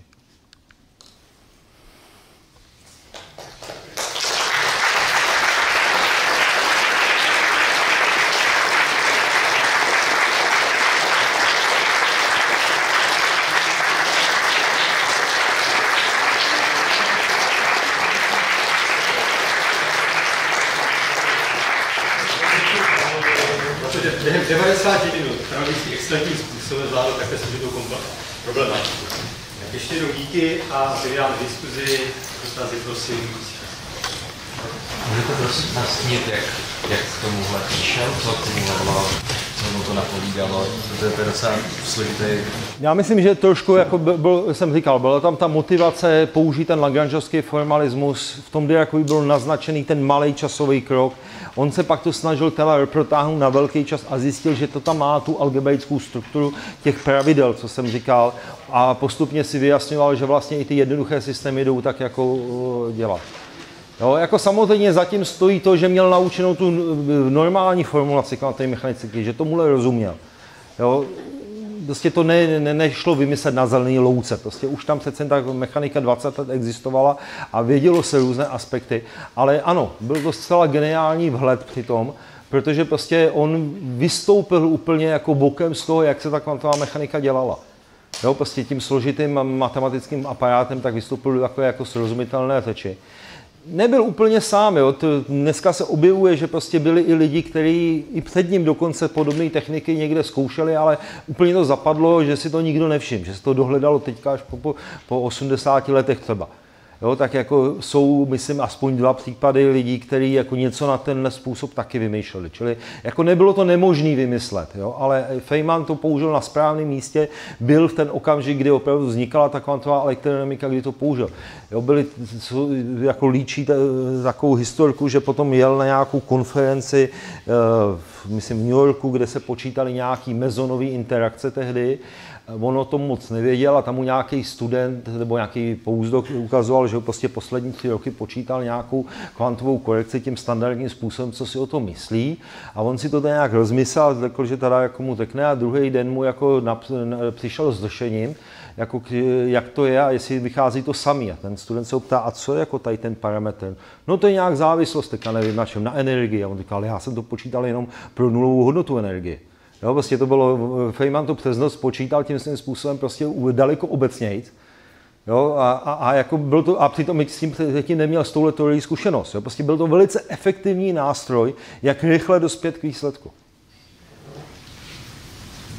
Já jsem se chtěl zeptat, my to ještě neprobíráme v matematice, tam jak se říkal ten nekoneč, ten, no tak jenom co to má je matematicky.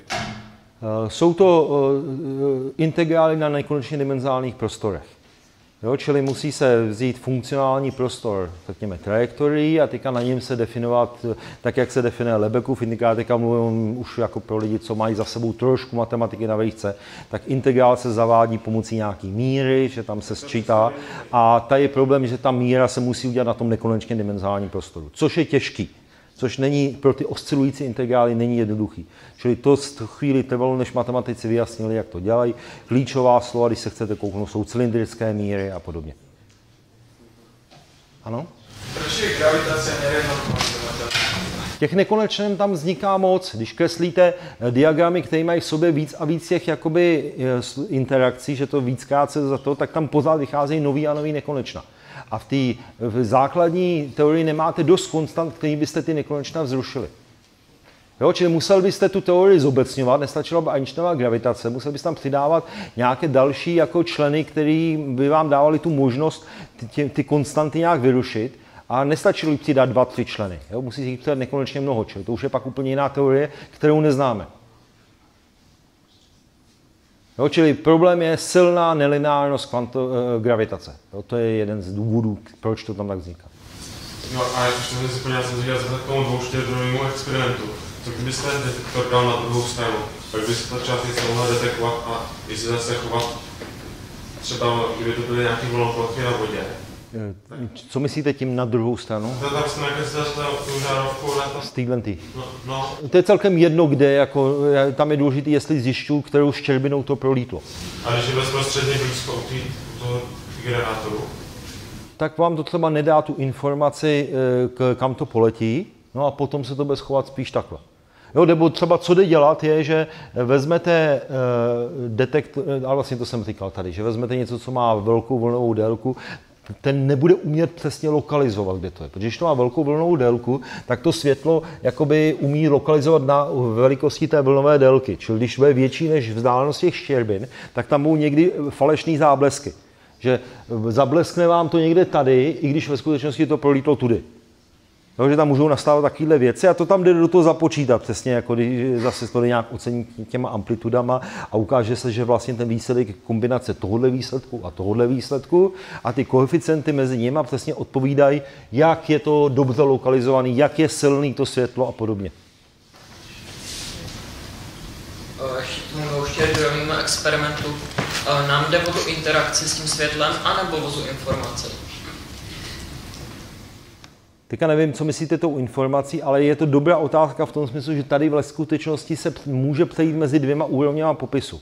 Základní úroveň popisu je, že popisuji jen ten elektron, jen tu částici a k tomu přidám takový vhled, umím naměřit, kudy letí nebo neumím. Jo? Je to rozlišitelný, není to rozlišitelný. A hnedka začnu na ten elektron používat ty pravidla pro uh, pravděpodobnosti amplitudy. To je ten výpočet, co jsem tady dělal. Druhá možnost by bylo, že tam přidám i ten foton, že celý ten systém se bude skládat z elektronů a z fotonů a budu tam muset přidat nějaký amplitudy, jak ten foton letí sem, že zakopne tady a že ho uvidím. A to by šlo taky napočítat, i tenhle jakoby větší systém, A pak mi tam právě vyjde, jak jsem říkal, kombinace těchto těch dvou vzorů podle toho, jak silná je ta interakce s tím fotonem. Jo, čili najednou já jsem si ten systém zvětšil a zase na něm používám stejné pravidla. Čili ono je takový zvláštní, že jako můžu to dělat na těch různých úrovních. Jo, že to jde, když to jsou takový ty dva ostrý případy měřím, neměřím, tak si vystačím s elektronem. Když chci vědět jem, větší jemnosti, tak musím ty interakce tam popsat. Jo, ideálně bych to měl dělat pro celý svět najednou. Jo, ale to zase je beznadějné to zvládnout. Tak se nám nějakým způsobem nemožným podařilo zjistit, kterou štěrbinu ten elektron šel, aniž bychom ho nějak narušili. Je nějaká myšlenka, jak by vůbec ten graf vypadal tak? Že bychom třeba porušili ten princip neurčitosti. Je nějaká myšlenka, jestli to No, naše experimentální zkušenost ukazuje, že to prostě nejde. Jo, že, že prostě ty všechny výsledky, co jsme zatím naměřili, jsou takové, že e, nelze zjistit, kvůli to letí, aniž bych ovlivnil, jak to letí. Jo, že si to prostě vyžaduje, jako to měření si vyžaduje nějakou jako zásah do toho systému, který změní ten vývoj. No, tohle o tom byly třeba právě dlouhé diskuze mezi Bohrem a Einsteinem, eh, kdy si vymýšleli, jaký myšlenkový experimenty, který tohle to ukazují, zda to se změní, nezmění a jako Einstein vymýšlel velmi chytré situace, jestli náhodou to nejde zjistit zprostředkovaně a, a ukazuje, prostě dospělo se k tomu, že ne. Není to tak úplně jednoduchý, prostě pak jako třeba to, co nakonec Einstein vymyslel, známý pod Einstein podolský Rosen e, systém nebo e, experiment, tak tam opravdu se šá hodně hluboko do té kvantovky a ukazuje se, že ta kvantovka se chová výrazně jinak než ty klasické teorie. Jo, že prostě tam je to obtížný tady s tím zjišťováním, co můžu měřit. Třeba na tomhle systému nebudu to tady teďka víc vysvětlovat, je to složitý, ale prostě je to obtížný a závěr je ten, že opravdu ta kvantovka se chová fundamentálně jinak než klasická teorie, že si nelze představit tu kvantovku jenom jako aproximaci k nějaké klasické teorii, kde bych chtěl těch informací víc. A jde to formulovat experimentálně, jde prostě říct, kdyby to bylo statistika od nějaké fyziky, tak vyjde ten experiment takhle, když ne, tak vyjde jinak. Ten experiment se udělal a zjistil, že se to chová podle té kvantovky jo, Bellovy nerovnosti. Změní se nějak ty výslední diagramy toho průletu co při distanci, různý distanci? Jo, jo, jo, jo, jo, jo, jo. Tam samozřejmě ta interference, tohle, jak jsou široký ty a jak jsou daleko od sebe, závisí na roz, rozměru štěrbiny, závisí na týhle tý konstantně, co tady je. Jo, a e, když nebete mít ty čísla správný, tak se vám i v tomhle případě to třeba hodně rozmaže. Jo, nebo v tomhle případě to nebude takovýhle kopeček, ale jak tam měl Feynman, tak bude takový mít trošku prohlej tady, jo, protože tady může, když budou ty štěrminy dál od sebe, tak tady bude trošku pokles. Jo, to pak závisí na konkrétní Já jsem ale myslel od sebe ty detektory a ty štěrbiny, ty roviny těch detektorů a rovina těch štěrbin a ten zátěž. No, taky. Závisí, jo, prostě tahle ta vzdálenost se projevuje tady. Jo, oběd se tam, že jo, se tam jak kde jsem tady, tak jak jsem takhle daleko, protože tady se počítá vzdálenost. On potom ještě, tady mám, jak jsem četl nějakou knížku o těch přednáškách, tak on ještě ty šipky vlastně napojoval jednu na druhou a vycházela tam, vycházela tam vlastně potom ta dominantní šipka to je to sčítání těch šipek, co jsem tady říkal, že tyhle šipky se sečtou, no jak se, ale oni sčítají. Že vlastně vezmu tuhle šipku a na tu napojím tuhle šipku. A, a že se to sčítá jako vektorově. No přesně, jo, to prostě to sčítání těch šipek, ano. A třeba, jak jsem tam naznačoval, tu klasickou řešení, tak že, že někde se vyrušejí ty šipky, tak to je to, že když máte hodně náhodných šipek a ty takhle na sebe natočíte, tak oni zhruba začnou zůstanou pořád kolem nuly. Jo, neutečou někam daleko.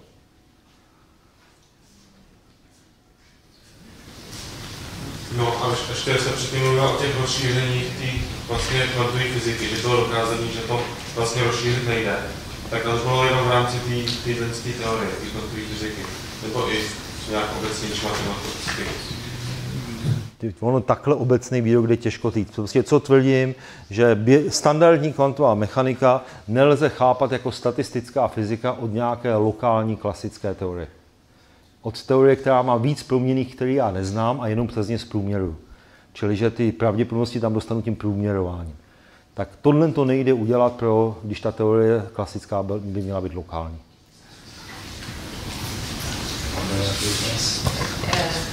ty, tom exponen, ty exponenciále, tam jsou vždycky nějaký ty uh, velečiny, které jsou na sobě jako neurčitý, jak tam jsou ty vztahy těch uh, neurčitostí. Jak nebo tam může být jako, co je v té exponenciále? Vy jste říkal o čase a energii, tady je uh, ta... Bývá to ano. Jo, prostě je to tak, že ty, to, co se v té klasické teorii chápe jako ty komplementární nebo navzájem vylučující se proměny, tak to hodně souvisí s tím, že právě se tam objevují výrazy exponenciála krát součin takovýchhle dvou proměných. Jo, to souvisí opravdu s těma komutačníma relacema, ať už znamená to cokoliv. A ano, ta souvislost tady je, ale není to jednoduše zřečitelný. Proč? Jo, prostě jako, ale ano, je to tak, že, že prostě ten čas, tady něco, tohle opravdu má interpretaci velikosti hybnosti, krát vzdálenost, jo, nebo jsou výrazy něco jako úhel krát, moment hybnosti a podobně. A jak to teda ta částice, klidně i klasická ví, která z těch který má tu No, ona to není klasická částice. Prostě ten kvantový systém, to je něco jiného. No, my si to tady představujeme jako kuličku, ale jako kulička se to chová jenom to, že to udělá jako tečku na stínítku. Ve skutečnosti ono to neletí jako kulička. Jo, prostě to jenom, když to změřím, tak se to chová jako kulička. Ale jinak je to prostě jiný systém, není to klasická teorie, že my si musíme vybudovat novou intuici. Jo, čili ono to z toho zdroje do toho konce letí všemi těmi možnosti najednou. Jo, prostě, že tam se počítá ta amplituda, nebo do toho výpočtu přirozeně přispívají všechny ty možnosti, které od sebe neumím kvantově odlišit. A není, je zcela nesprávné říct, že to je jedno nebo druhé. On je to najednou. Nějak. Jo, v novém smyslu. Ve smyslu, kterému nejde dát smysl klasický. Jo, to je právě to, že to nejde převíst na klasickou intuici. Tady si člověk musí vybudovat novou kvantovou intuici. Jo, čili opravdu ten pohyb je tam jinýho typu eh, a eh, co můžu říct, prostě do té amplitudy tam přispívají všechny ty nerozlišitelné možnosti tou svojí váhou. A co já vidím, je teprve ten, ta, tu sumu absolutní hodnota na druhou a tohle to, to je ta pravděpodobnost, kterou já jsem schopen měřit. Jo? Proto ty virtuální částice, to virtuálně právě, že oni tam nějak jsou všechny najednou, ale já se nejsem schopen kouknout na, tu, na, na ně konkrétně, jestli se tam objevilo prostě jedna částice navíc, pak jo, jestli tam vznikl třeba elektron pozitronný pár, pak zase zanihiloval. Takovýchhle věcí tam může být spousta, ale všechny jsou najednou.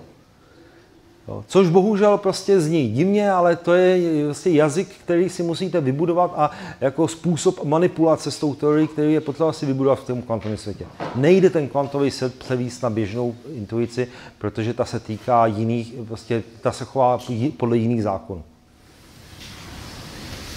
Vo väčšine modelov uvažujeme prostě o elektroně, rôznom, uh, interakcii, rôznych pohybov a tak ďalej. Dalo by sa to proste tak, povedať, o tak inej časti, napríklad pozitron? Jo, to, eh, ta kvantová elektronika, o které si budete povídat, tak tam budou hrát hlavní roli elektron, pozitron, foton. Jo, to je, elektrodynamika je o eh, elektrickým politetem foton a o nábojích to je elektron a pozitron. Čili to je takový uzavřená teorie, která má tyhle ty ingredienty a teďka se, jak jsem tady psal, je takový ty diagramy, že tam je něco jako jedno zakupnutí nebo takový zakupnutí s dvěma tak tam bude jiný typ zakupnutí, Jo, tam bude interakce mezi elektronem, pozitronem, fotonem, nějaká interakce a z toho se to bude všechno nějak posčítávat. Jo, čili takhle se ano, popisuje, že někdy před rokem, nebo kdy jsme tady na, zase na jiném foru povídali o tom, že e, kvárky, takové věci si lze taky představovat jako takové nějaký divné částice, které si vyměňují spoustu jiných částic mezi sebou. A to je nějak nutí, že nejdou od sebe oddělit, že vždycky se chovají dohromady jako proton nebo neutron. Jo, čili tohle to je standardní popis pro většinu, jako pro, pro celý standardní model, pro ty základní částice. Čiže když jsem posielal jinou časticu, ten finální výsledek vyzerá rovnako? To konkrétně pri No a když nastavíte odpovídající podmínky. Jo, protože ona bude mít jinou tady tu hmotnost, bude mít jinou tady tu konstantu, musíte tam přizpůsobit rozměry, aby vám to vyšlo. Jo, s fotonem, se světlem se to dělá snadno, s tím elektronem je to velmi obtížné to prostě dosáhnout, aby to běželo v tom v té podobě, jak jsem tady promítal, jak to tam opět tečku po tečce dělalo, tak to už je technicky jako náročný, ty rozměry, na kterých to je a podobně. Jo a... Ten spin, jo, A právě, a spin ještě, eh, tady to bylo v situaci, kdy ten spin tam nehrál roli, kdy si nemohli nic nikdy vyměnit. Kdyby tady ten elektron mohl se nějak, do, tady bylo něco citlivého na spin, nějaký molekuly, které se můžou přepnout, tak by se klidně mohlo stát, že i když tam jako nic zdálivě nemáte jako detektor, tak on někdy prostě tady si vymění spin a to vlastně způsobí, jako kdyby se zaznamenalo, že tam to doletělo. A já o tom nevím sice, ale ono je tam zaznamenaný. Čili hnedka to stámhle to obrázku přepadne na tenhle obrázek. Jo, protože k tomu měření tam efektivně vlastně došlo. Já ho jenom neviděl. V podstatě vnitřní stupně volnosti se také musí uvážit, že No, no. Tady to bylo situace, kdy ten spin do toho se nepletl. Jo, kdy prostě neinteragoval s ničím. Jo, a pak má takový problémy, kdybyste to chtěl udělat s neutrínem, no tak ono neutrino, prostě ono ho vůbec ho vidět je obtížný, jo? prostě jako z, z, ze slunce, co přichází neutrony, tak na to musíte udělat nějakou strašně velkou nádrž vody, kilometry pod zemí a tam jako občas jeden, jedno neutrino naměříte. Tak zkuste udělat dvouštěrbinový experiment. Jo? Vlastně to je... Zajímavý projekt.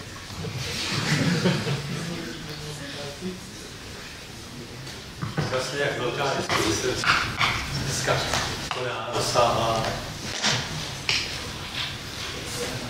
Akorát 20 minut tady třetině celé přednášky. Ale přesto bych si možná dovolil vyzvat už třeba k poslednímu dotazu. 14 bude Já myslím, že už je všechno jasné. ale něco se ujasnilo. Tam ještě poslední dotaz. A já jsem četl, že i vlastně gravitace tak je svým způsobem braná jako to, jako to měření.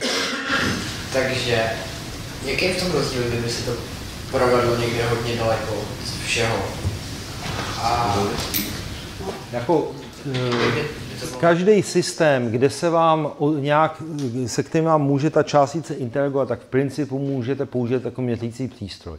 Akorát prostě změřit gravitační vliv elektronů je, je stále zanedbatelný. Jo, čili to, to prostě byste e, nehrálo roli. Kdybyste dělali jako nějaký kvantový rozptyl černých děr nebo něco takového, tak tam by to asi roli hrálo, protože tam ta gravitace jako už oni působí velkou. Jo. Čili tam je spíš, že ta interakce je velmi slabá. Jo, gravitace je prostě velice slabá oproti elektromagnetismu, je prostě v těch pro běžných částicích, které máme k dispozici, je zcela zanedbatelná. Na druhou stranu existují, prostě ta gravitace je zvláštní a prostě takový slovutní men eh, lidé, jako je Penrose, který prostě je opravdu jeden z takových velkých lidí eh, v relativitě, tak to on říká, že ta gravitace je tak zvláštní, že opravdu i do té kvantovky vstupuje jiným způsobem. A že ve skutečnosti ta gravitace nějakým způsobem zásadně rozhoduje o tom, co už je kvantově rozlišitelné a co kvantově rozlišitelné není. Jo, že, že to, jak jsem tady naznačoval, že někdy je těžký rozhodnout, kde, co je původ té kvantové rozlišitelnosti, tak Penrose tvrdí, že to je gravitace. E, není to rozhodně většinový názor. Jo? Já jsem tady zmínil jako zajímavost, spíš se lidi myslí, že tomu tak není. Jo, že, kvant, že ta gravitace vstupuje do toho jako každé jiné pole, akorát složitější a že se to musí řešit někde jinde. Takhle jsme poslední. Děkujeme.